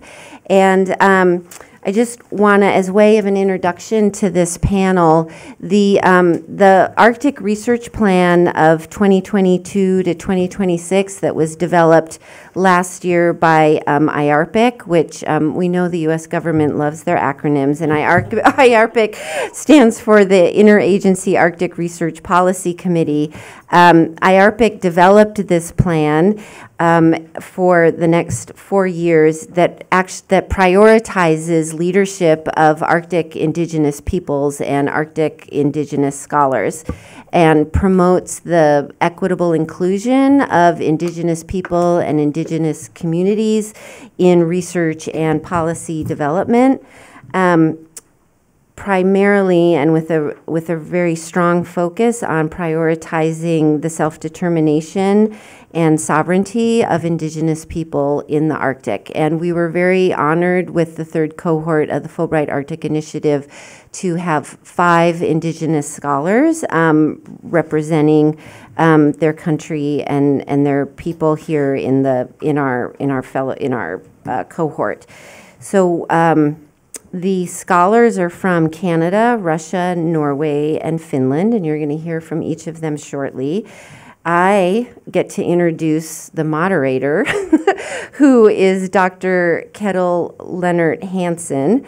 And I, um, before I go into why Ketil is so famous now, before uh, Ketil was famous, I actually had the opportunity to, and I first met Ketil uh, almost 20 years ago when we were both stranded in Kangerlussuaq in an airport um, in Greenland um, for four days, and it was just Ketil and I and a German uh, rock band, and I think about four other people. We're, we're, we're stranded in this airport for four days in Kangerlussuaq on our way um, to Nunamed, which is a which is a big uh, health conference in in Greenland. So I've known Ketil for for quite a long time, and when I did meet Ketil um, almost 20 years ago, he was he was not. Um, he was on his way to being the wonderful scholar that he is now. He was still a PhD student. Um, so now he's Dr. Ketil Lenert Hansen, and he is an indigenous Sami scholar from Tromsø. Uh, Ketil specializes in epidemiology and public health. He also serves as faculty at the Sami University of Applied Sciences. He has now um, been collaborating for over 20 years with indigenous Sami people conducting mixed methods studies um, on, on health with, with, Sami, with Sami people. And Ketil's individual um, exchange on the Fulbright Arctic Initiative was in Colorado at the University of Colorado, where he studied uh, childhood trauma and looked at the differences between how Indigenous peoples in the United States study and address childhood trauma and, and working and then comparing that to um, his communities in, in northern Norway. So I'm going to turn it over to Ketil um, and have fun, you guys. Thank you so much. what, uh, yeah, thank you, Elizabeth. And what happened in uh, Greenland, stay in Greenland. um, good afternoon to you all. I'm very glad to see so many people here today, and also to the people that uh, are following us online. And uh, I, if there is any question from the people that is online, it's possible to send the question to polar at wilsoncenter.org, and I will get that on my mobile phone after we have had um, the discussion. So I will be the moderator for uh, this panel today, and I have been so lucky to uh, be a part of this Fulbright Arctic initiative for two years together with 18 other scholars that sit here in the hall. And, uh, but I've also been very grateful to be together with uh, four other indigenous scholars. And uh, when uh, this Fulbright uh, Arctic initiative started, there was uh, zero indigenous scholar. In the second wave, I think it was two, and in this wave, it's five. And we know that 10% of the people that living in Arctic are indigenous, so this is um, some, some of them.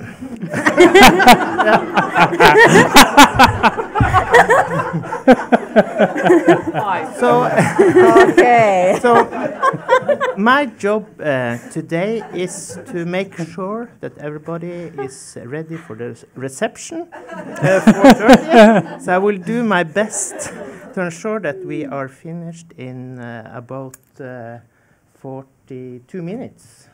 So, so that's my job today. So um, I'm first going to, to um, say something about these four other scholars, Lena, Rauna, Bonita, and Chris.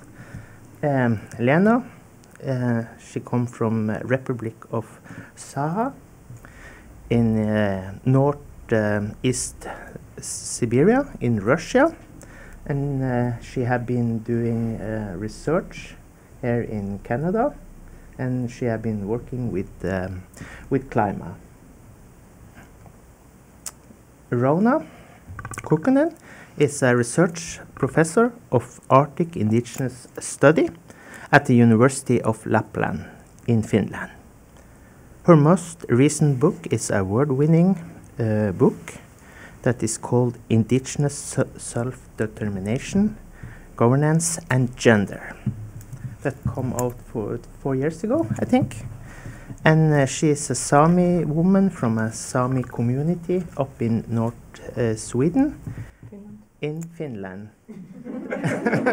yeah. Well, it doesn't did I, did I say Norway? Sweden. Sweden. Oh, sorry. Could be anywhere. Oh, sorry. Norway, then yeah, yeah. Uh, very, very close to the. Norwegian border. So On yeah, yeah, yeah, on the on the border, really. oh, sorry. Not border for us. No. No, that's true. Uh, Sami people live in in um, in four countries, and it's uh, it's Sapmi. We have no borders between us. Uh, Bonita Beatty uh, is um, from Canada. Saskatchewan. yeah, that's true. and she is Cree Nation. Uh, she is uh, currently uh, the head of the Department of Indigenous Study at the university. Of Saskatchewan. That's true. He can't say Saskatchewan. That's a difficult word. I missed my cue. haven't learned that. I've been there two times, but it's difficult to, to say that word. so uh, her research have been about uh, co- uh, connection with Alaskan uh, community networking to uh, explore indigenous health, elders care, and culture. Uh, Chris uh, Clark McQueen is an indigenous health architect from Yellowknife. He have already told you that he is a Dene First Nation. And uh, at the moment, he is traveling around in his truck with his two dogs, doing his PhD, uh, and and working with his dis dissertation about uh, architecture uh, uh, related to traditional indigenous medicine and healing practice of indigenous medi medicine people, something like that. Mhm. Yes. Perfect. Yeah. So uh, this is the this is the panel today. One of the 10. Yeah. uh, as a modera moderator, I will ask uh, two questions to um, to my people today, and they have uh, for the first uh, question five minutes um, to answer the question. Uh, so you should Start know the clock. You should know that, uh, Bonita.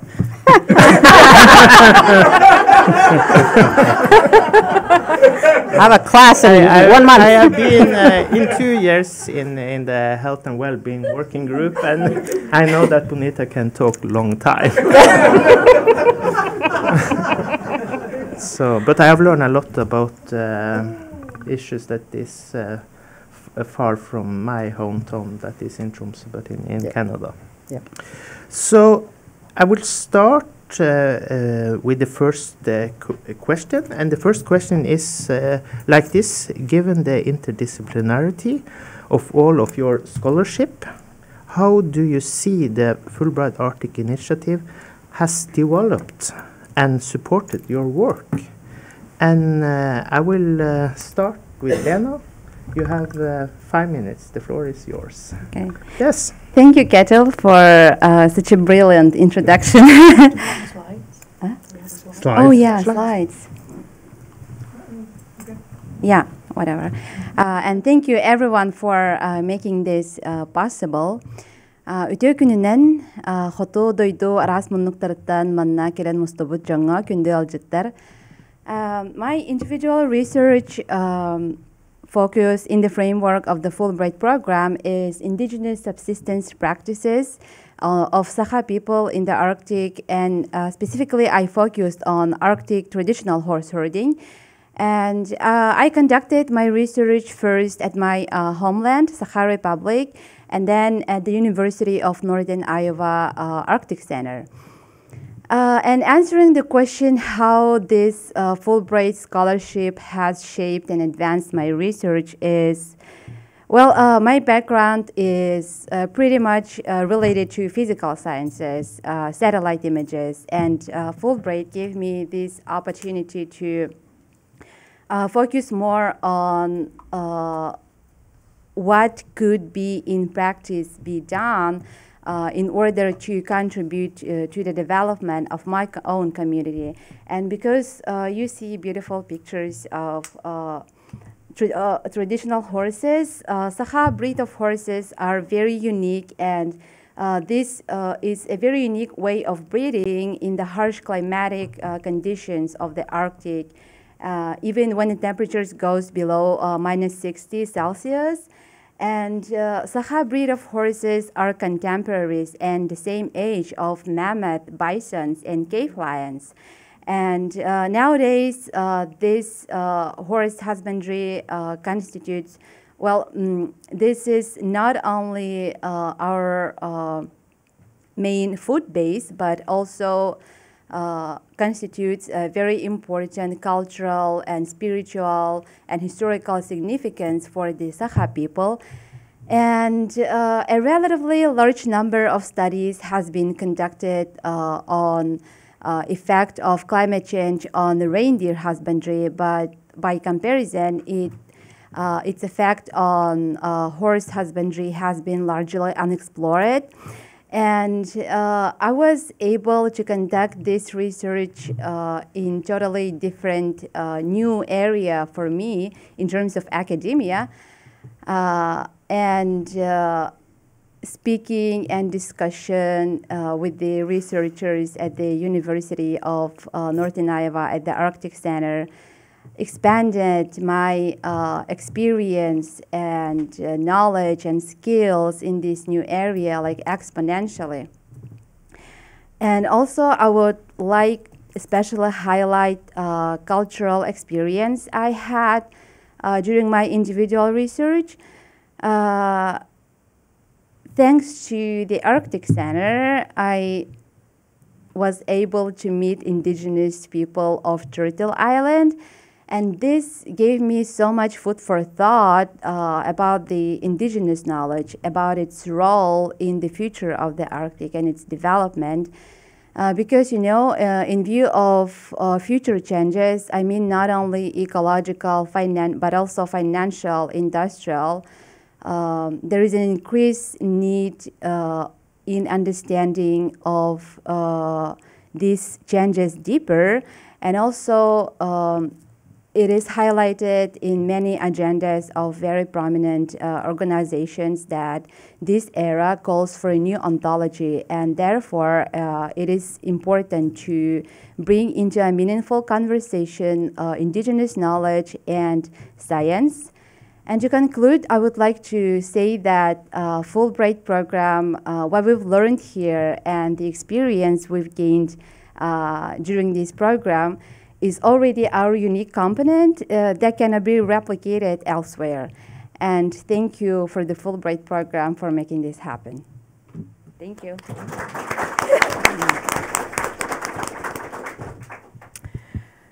I started my um, research project on uh, indigenous self-determination, uh, governance and gender over 10 years ago. Uh, that became the book that uh, Ketil mentioned. It was a comparative uh, project uh, focusing on uh, Sapmi, where I come from, Greenland and northern, well, northern and southern parts of Canada.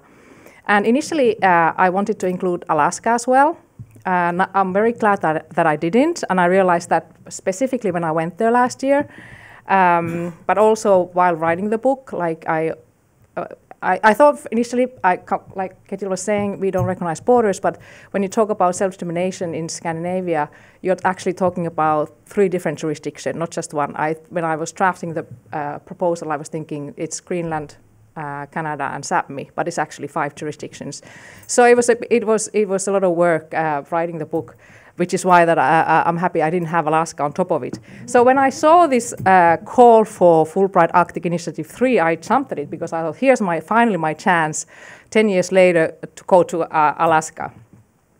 So in my uh, in the book, uh, I, it's in the comparative research, I I was interested in in uh, figuring out and understanding the relationship between indigenous self-determination and gender uh, justice. And it became that book, uh, uh and one of the things I do in that book, I, I uh, develop a theory of indigenous self-determination. Uh, I argue that in addition um, of being it a right recognized in international law, it is also a shared value that a group uh, sees as indi indispensable for their well-being. So um, uh, I wanted to. Uh, this is my. This was my initial idea uh, to include Alaska as well, uh, but Alaska is very. When I was drafting my pr proposal for the Fulbright Arctic initiative, the call. I realized that Alaska self-government is very complicated uh, uh, due to historical, legal, and political uh, uh reasons. Uh, maybe you can put the uh, photo there, the next one. So um, in the late 60s, um, oil was found in, in um, northern Alaska on the Arctic Ocean. So it became imperative to um, figure out the native Alaska land claim uh, that was outstanding and ha had become uh, increasingly a, a question uh, defining the state and, particularly the economic development of the state. So this is the photo, the, uh, picture on the left is the uh, Trans-Alaska Pipeline that uh, prompted uh, the Alaska Native um, Settlement Act that was signed in 1971 uh, which uh, settled uh, Alaska Native land claims. Um, in many ways, it's been um, considered a successful um, uh, experiment of indigenous self-determination, particularly in terms of economic development, generating econo economic development um, in Native Alaska communities. On the other hand, it has kind of muddled the waters in terms of Alaska Native self-government. It uh, extinguished completely Native Alaska uh, subsistence rights, which has been a sticking point ever since. But what was very interesting, uh, I went to Alaska for six weeks last year, and during my visit, ANCSA had just uh, turned 50. So uh, there were a lot of different um, the, uh, attention paid to the fact, like looking back, looking forward, has ANCSA has, uh, has it been successful, and, and to what extent, and what are the uh, the shortcomings. So um, I was uh, uh, lucky enough to be there for the uh, for the Arctic encounter in Anchorage, where ANCSA was discussed extensively. And right before my departure, uh, there was uh, at the University of Fairbanks, uh, Alaska Fairbanks, where I was um, visiting. There was an ANCSA at 50 symposium, and so the um, next the picture, the other picture which you can s- probably see what the say, it says. It's the museum, uh, uh, the University of uh, Alaska Fairbanks Museum, which is a beautiful building inside and outside. But in front of it, there's a sign that says the future site of the. Um, I had to look at my notes. Uh, the Troth Yeddha' Indigenous uh, Studies Center. Uh, they have selected the site for Indigenous studies, uh, but they don't have they haven't raised enough funding to start building it.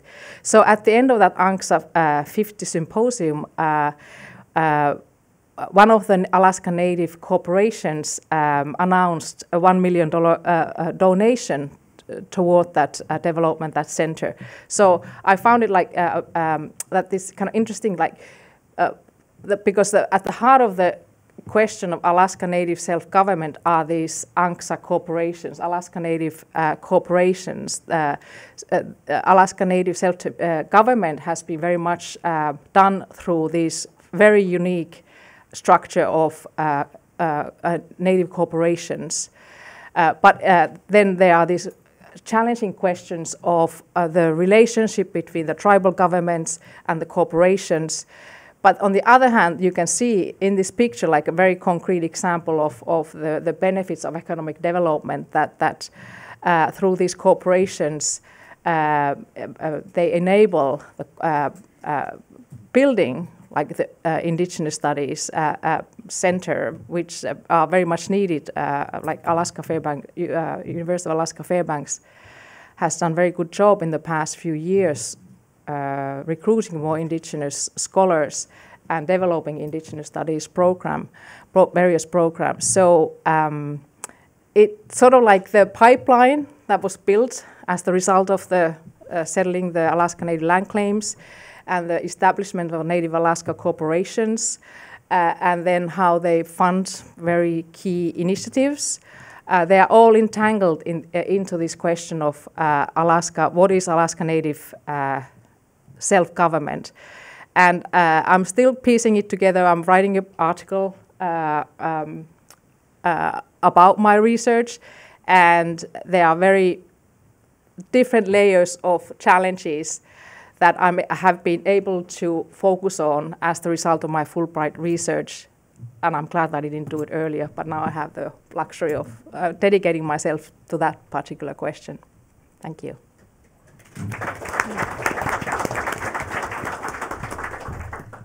Well, Dinigi, um, um, I, I'm also a political scientist. Uh, My first language is Cree. I'm from northern Saskatchewan, and um, and um, but I come from a hunting and trapping and commercial fishing uh, background. Uh, so and, and in, in northern Saskatchewan we have uh, what we call the subarctic um, ecological type of environment: lakes, high, big hills. So Saskatchewan is not just flat. You know, in the, the north of us, we're the majority. Uh, indigenous people, First Nations, Métis, Dene, are the majority up there and uh, its size about the size of uh, of uh, Germany. So I mean, you know, it's a it's a big it's a big land, and I was really impressed when I thought I come from a big land, and I ended up in, in Alaska. That's a really big land, and um, and so uh, it was um, it was uh, truly a, um, um, a gift to me, and, and, I'm, and I'm so very thankful for, for the people of, that I met. I've I met over 26 people, uh, groups, agencies, representing groups, agencies, leaders, elder leaders, uh, including Willie Hensley, who I spent a lot of time with, who negotiated the Native Claims Land Self-Government Agreement, and also set up the first assembly, um, uh, the um, um, the First Nations, or not First Nations, but the Alaska um, Federation of Native Association or something like that. But it's the biggest organization representing the tribes, the various tribes in, in Alaska. But what I was interested in, in, in Alaska for um, was for this thing on health systems. So I wanted to, to look at um, what kind of governance? I'm a political scientist, and, and my area was in public service. I wanted to learn about bureaucracies. How are they set up to deliver health services? And my, you know, I've, uh, I've worked in government as well, and I've also worked uh, as well with my tribal council and bands to look at setting up our First Nations health services. And so how did that look like on the ground? How do you integrate traditional values into that, into the system of administration? How do you do that? So it's kind of like what we call, so we have these standards, it's like labor standards plus, health services plus. So it's a step above the standards. And so that's how we looked at it because we incorporate culture, linguistic concepts, language, and so forth. And so in, in the research, as I said, I've, i networked with uh, wonderful people. Um, ISER, the Institute of Social and Economic Research, a former colleague, Diane, uh, head of it, and uh, she networked me to a lot of people, and the, including the, the lady I stayed with, who, uh, who was also um, a former assistant or to uh, um, the late governor, and, um, and so was well networked. I met a lot of people through there, so it just kind of continued rolling. And uh, when I did that information gathering, it's so important when you go to a, a, a foreign area. To me, it's a foreign country. Uh, I had these ideas in my head, and um, and uh, you know to be networked. And I'm thankful for Susan and, and, and Beth and all these people who kind of followed me through the airports till I, till I got to where I was, and then people being there and knowing they, they were behind that I that I wasn't stuck. And um, so the idea of making connections was the important thing. So I did a lot of research, uh, finding out who people were, how they were the structures politically were set up, service-wise, how they were set up. And uh, what we call the, in, in, in Krieg, in um, uh, a research method, indigenous research method, is about the visiting way. I think it's pretty typical of, of most, uh, you know, uh, that you spend time visiting and talking to people. And then, and then from there you find the connections uh, and you can get into the details of what you want. So after I did this, I found that um, um, the, the, I needed to look about at exploring practical solutions and strategies to, to things that uh, were very um, um, the, the, the, chronic uh, problems. And so one of the things in health for elders and youth. And so what I found that uh, with the three health developments that stood out for me were the tribally managed hospital, the primary care and elders program, and the traditional healing clinic. And, and I spent a lot of time with the elders program, and they fed me muktuk and everything else, and it was really good to see how they blended their primary care and their, um, their cultural care with people right at their bedside and in the community and uh, really respected the dignity of the people that they worked with. So that's it. Thank you. Yeah, thanks for the introduction, Ketil, and also thanks for your talk on. Uh, I was just also in um, Alaska and went to those same locations yep. that you did, and they were absolutely amazing buildings, and they are way ahead of anywhere that I've seen in North America with uh, you know healthcare for Indigenous people. I just want to make sure that this mic's okay because it says "do not adjust," but I completely 150% adjusted it. So, so, uh, and also as Lena mentioned, the um, the continent that we're on is Turtle Island, and it's one landmass that you know has had Indigenous people on it for uh, thousands of years since time immemorial, and so my research is indigenous uh, based research and it needed to include North America. So it was fantastic with Fulbright to be part of this organization that not only meeting with all these um, amazing scholars who are also part of the program and the administrators and whatnot, but also just the opportunity to come to the States. And I've been traveling through for quite some time now. And meeting uh, other indigenous people from here and creating those relationships that are going to be critical to my research uh, that's ongoing and whatnot for my PhD. So, uh, as you mentioned, um, Ketil, that uh, I'm a First Nations architect uh, and uh, currently doing research for my PhD. And throughout my research, I hope to create the awareness uh, of the importance of Indigenous health and its betterment through pollinating and understanding of the places and spaces that need to be designed in architecture for the reestablishment of the practices of Indigenous medicine people and traditional healers. So, looking at the images behind me, I just wanted to talk about some things that inspired me to do this research. And the uh, one on the bottom is a picture of my great grandma and my great grandfather, um, who I've never met my great grandfather. He passed away before I was born. But my great grandmother was, um, she looks old there, but that was like in the 60s. And she lived till 111, and she only died 10 years ago. So she was born before 1900 and 18, end of the 1800s. But you know, and I lived with her because I also lived with my grandparents, who we she would come and live with us from time to time. And my grandmother passed away when she was 65, 10 years before her.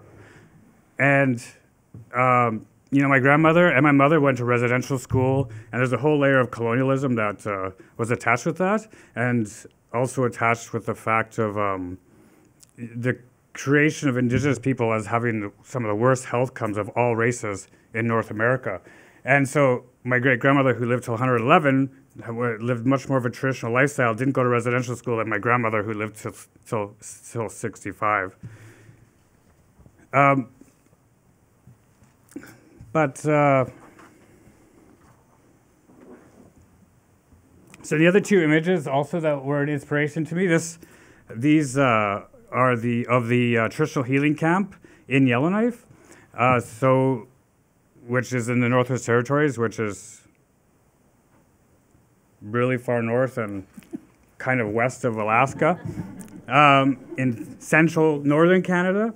But uh, they are they were created by the Arctic Indigenous Wellness Foundation, and the foundation was created by uh, the um, uh, Dene and Inuit elders and medicine people, uh, some of my elders, uh, to conduct their healing practices uh, for the health of our local indigenous population.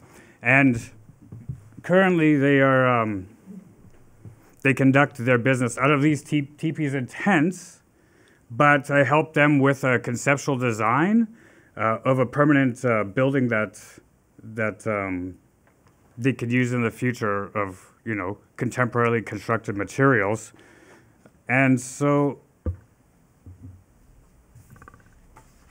because of my expertise in uh, healthcare design, I was asked to assist them with that, and I um, made me want to learn more about traditional healing practices and how to bring those, how to bring that understanding uh, and culturally into uh, architecture, into the architecture of healthcare for Indigenous people.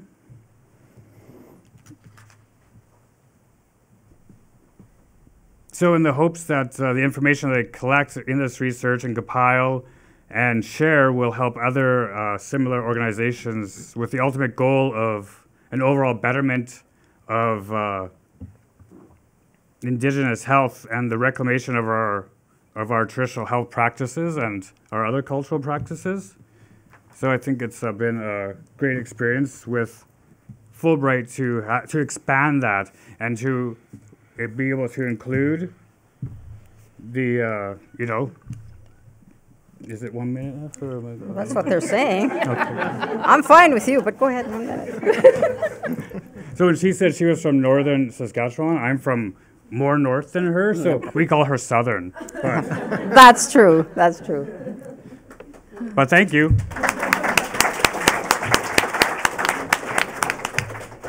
Okay, thank you so much for answering the first question I asked. And I have one question more, and you just have one minute to answer the question. so it's a very short time. so uh, we go like this right off the start. Yes, yeah. exactly. So um, the question number two is uh, how do you envision your research contributing to the future of the Arctic? And we can start with Chris this time and go the other way. Okay, so as I said, I'm from very far north, and she's from kind of south, southern Canada. And so, if uh, just to kind of understand where I'm from, if you went west from here, you'd be going 2,000 miles to the west, and then another 3,000 miles to the north, which is 3,000, 3,300 kilometers for us that do kilometers, and uh, to the west, and then 5,000 kilometers more to the north of where this location is. So um, my province and territory is the Northwest Territories, and the landmass is huge. It's 500,000 uh, square miles, and if you just want to get a picture of that, is California is 163,000, and Alaska is 60, 665,000. So it's a big landmass, and we have 45,000 people in 30 communities. And so it's an extremely small population, very spread out. And has anybody watched Ice Road Truckers on history or Ice Pilots? That's in the town that I live. So that's how we get our stuff around is on ice roads and whatnot. So it's very remote and very uh, difficult to to get to. And through intergenerational trauma, we have the second highest suicide rate in Canada. And uh, the first being Nunavut, which is the territory that broke away from us in 1999, which is next next to us. Uh, and so I just uh, I'm hoping that my research will help uh, with the create the indigenous healing facilities where people can reclaim our traditional healing and so that we can reclaim our cultures and create a healthy environment, indigenous communities in the Arctic. Thank you. Thank you. Bonita, your minute. That was a long minute. so here's your minute. Thank you. okay, I'll take a minute. Um, one of the things that I learned, um, you know, we all live in this planet, and certainly in the north, we all live in this planet. And one of the things is this notion, and it's an indigenous notion, no matter what language you come from, or, or, or tribe or background you come from, and it's the idea of family and kinship. Kinship is your friends, family, and people that live around you and, and your region and so on. And so these all these intersecting circles. Wahkohtowin, in Cree talks, talks about the spirit of relatedness. We have to remember that the spirit and the, and the physical, mental, and so when we're talking about it in terms of systems, people, things like economics is important, yes, but people, language, culture, and values are are are the other side of it, and you're not going to get sustainability until you have both. So with that, and that's the kind of language I, I heard from the the elders in, in, in Anchorage, plus also mine, and and I'm taking a group back in the end of June. And so that's, that's uh, I want them to hear all the stuff too. So. Thank you. Can I come? No. Uh, when I was in uh, Fairbanks, I learned that there is also salmon crisis there. I um, I'm not a reindeer herder. I know uh, Ketil's family has reindeer, like uh, Samia often associated with reindeer. My people, uh, my family doesn't have reindeer. Uh, I come from a big salmon river, one of the uh, last remaining uh, uh, wild Atlantic salmon rivers in Europe. So, uh, and, and, there's a salmon crisis there as well. So, uh, in collaboration with uh, my colleagues at UAF, um, we started to work on this comparative project on um, on the salmon crisis and the future of indigenous salmon fisheries. And so, so actually, this is what I'm drafting the uh, proposal, uh, funding proposal for the European Research Council as we speak, to examine how the future of indigenous salmon uh, fisheries is best understood and secured in the Arctic. And our uh, hypothesis is that enhanced governance based on indigenous knowledge, shared decision making, and robust, robust policy making secures the interwoven uh, uh, futures of Arctic salmon and indigenous Arctic indigenous peoples. So it combines food sovereignty, One Health, uh, and, and, gender analysis framework and through the lens of future scenarios, but also indigenous futurities, like the kind of, uh, somebody mentioned uh, University um, Arizona, the science fiction, the kind of like there's a discourse in Arctic, uh, sorry, indigenous futurities, so that's part of that project as well. Thank you. Well, my uh, vision is that we are gradually moving towards a holistic understanding of the world. And uh, for that, to my, uh, uh from my own personal perspective, Uh, for the complete transition, it is uh, imperative and necessary to bring into a conversation and that science and indigenous knowledge come together. And I believe that my research uh, could be one of the bridges uh, that could build uh, this, could bring into the conversation these two ways of knowing, right? Because at the fundamental level, uh, current worldview and uh, science itself are built on the basis um, of singling out the outside world and uh, some kind of extraneous structure. And in opposite, uh, on the contrary, in indigenous knowledge, more than everything is interconnected. Uh, there is like we are one. And uh, if we will aware of this, and if uh, this awareness uh, will, this awareness can change the whole approach uh, to the policy itself and all the social norms. Thank you so much. Time go very fast when we have good time together. so now we open for question to the participants uh, on the panel um, from the hall. So we have some question here. Uh, is it the lady up there with in blue first? Um, thank you. So um, I've heard about this theory that because of global warming, um, as like southern regions get um, like warmer, like hotter and more uninhabitable, and northern regions get um, warmer and more inhabitable, that means people are going to have to um, like start moving more and more north, which means like like people are going to have to be moving into like indigenous northern land, perhaps. Um, and that historically, like obviously, hasn't been good. Um, so I wonder, like, if if any of you have any like thoughts about that, or or what could be done. Who want to answer the question? Yeah. Actually, yeah, uh, that, that's very timely question. That's something actually uh, that is part of my uh, proposal that I'm uh, currently drafting.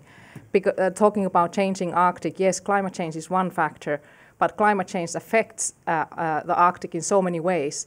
And one of the ways that we haven't really looked at is the question of climate migration that uh, yes, there's climate migration in Alaska, like the, some villages need to be relocated.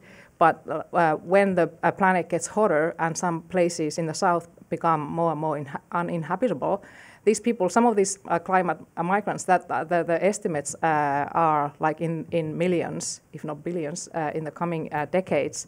Some of them are, will end up in the Arctic. So this is the question, and of course, um, everywhere in the world there is this backlash against migration uh, refugees, climate refugees. So, so the, my, one of the questions that I want to um, consider in the pro proposal or the research uh, is that um, how do we accommodate, like how do we see migration as an asset rather than a fear, uh, like a, like um, a threat and a danger? Like, can it be done in a way that that at the same time secures basic indigenous rights, uh, say, the, the, and salmon fisheries. How could it be done? Uh, could it be done? Like uh, that's the question that I, I, I, look forward to finding out. Yes. Um, and I think it'll go coincide with uh, my my friend here to my left. Um, but uh, it, you know, self-government and and capacity building in the local communities at the at the local level. Um, and I mean capacity building in terms of infrastructure, in terms of uh, long-term planning. Um, you know, we have our own our, our, treaties. We also have a lot of, and it's so long as the, the sun rises and, and, the, and the rivers flow and so on, and people Grass have, grows. yeah, and people have always says, how long are you gonna, how long is your plan? Ten years, five years? I said, is the sun still shining or is the grass still growing? I mean, so part of the thing is it's the process, and it's a long-term human process, and uh, we know people are going to be coming because we've been relocated many times. There's the, the whole history, no need, no, no need to go into all of that. But uh, in the north, certainly there's been a lot of relocations anyway, and um, and and there is going to uh, and and sometimes it was you know uh, weather weather warranted, And uh, but certainly one of the things we we've looked at is is disaster disaster risk management uh, in terms of the climate change issues on around water, around forest fires, and so forth. So there is strategies in place, and there's a lot more direction. There's also an international Indigenous Connectivity Association that I happen to belong to that deals with more information getting out to people. And, uh, and I think as, as long as you have a solid capacity, and, and just, just to give you an example, in the pandemic that just happened in Alaska as well as northern Saskatchewan and, and, and also in, in, in all the, the provincial Canada Norths, um, we found that, and Nunavut even, that, uh, that we found that uh, the, the, the, the tribes and the bands that took over and had the capacity to have a, a, a fairly well-established health system were able to, to um, roll out the vaccinations much more effectively than even the, the, the Western um, health systems. Thank and you. Um, and so so it's that was that was exactly what they said. Yeah. We have one more question, uh, two more questions. We take the, the yeah, we can take them both. Hi, so I come from a background, my research focuses on gender mainstreaming and the ways that the policies we recommend have disparate effects on women opposed to men and people with on the diverse gender spectrum.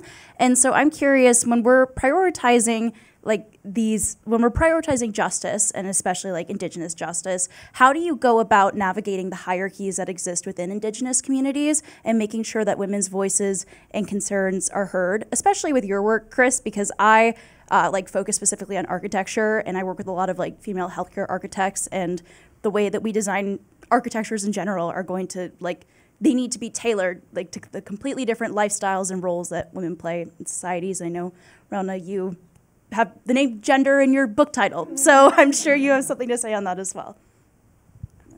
You know, I'm a two-spirit individual, and I was, um, you know, oftentimes navigate or migrate over towards uh, like women's issues. But I think that a lot of our societies, uh, native societies in North America, are matriarchal, and they became patriarchal over the last few hundred years because of colonialism, because of uh, Catholicism and the other uh, religions. And so I think that as we start to regain our cultures and we start to look at things through this new, like this, this lens of decolonization, and I hope that we are going to be you know, not preferring, but including women and everybody's voices as one voice in, in a holistic manner, not just men's voices. If that answers your question. I guess I can uh, answer very quickly. Yes, that, that's the, the very question in my book, and um, I'm, I'm, trying to think a way of putting it very briefly. Um, I make the case that when we talk about indigenous uh, self-determination and indigenous governance structures, institutions, um, uh, we need to look at, like uh, indigenous self-determination discourse tends to look focus on the indigenous state relations, but my, my key argument uh, in the book is that we need to look at all the all relations of domination from the very uh, micro to the uh, uh, uh, macro level. So, and we need to restructure all all relation, relations of domination.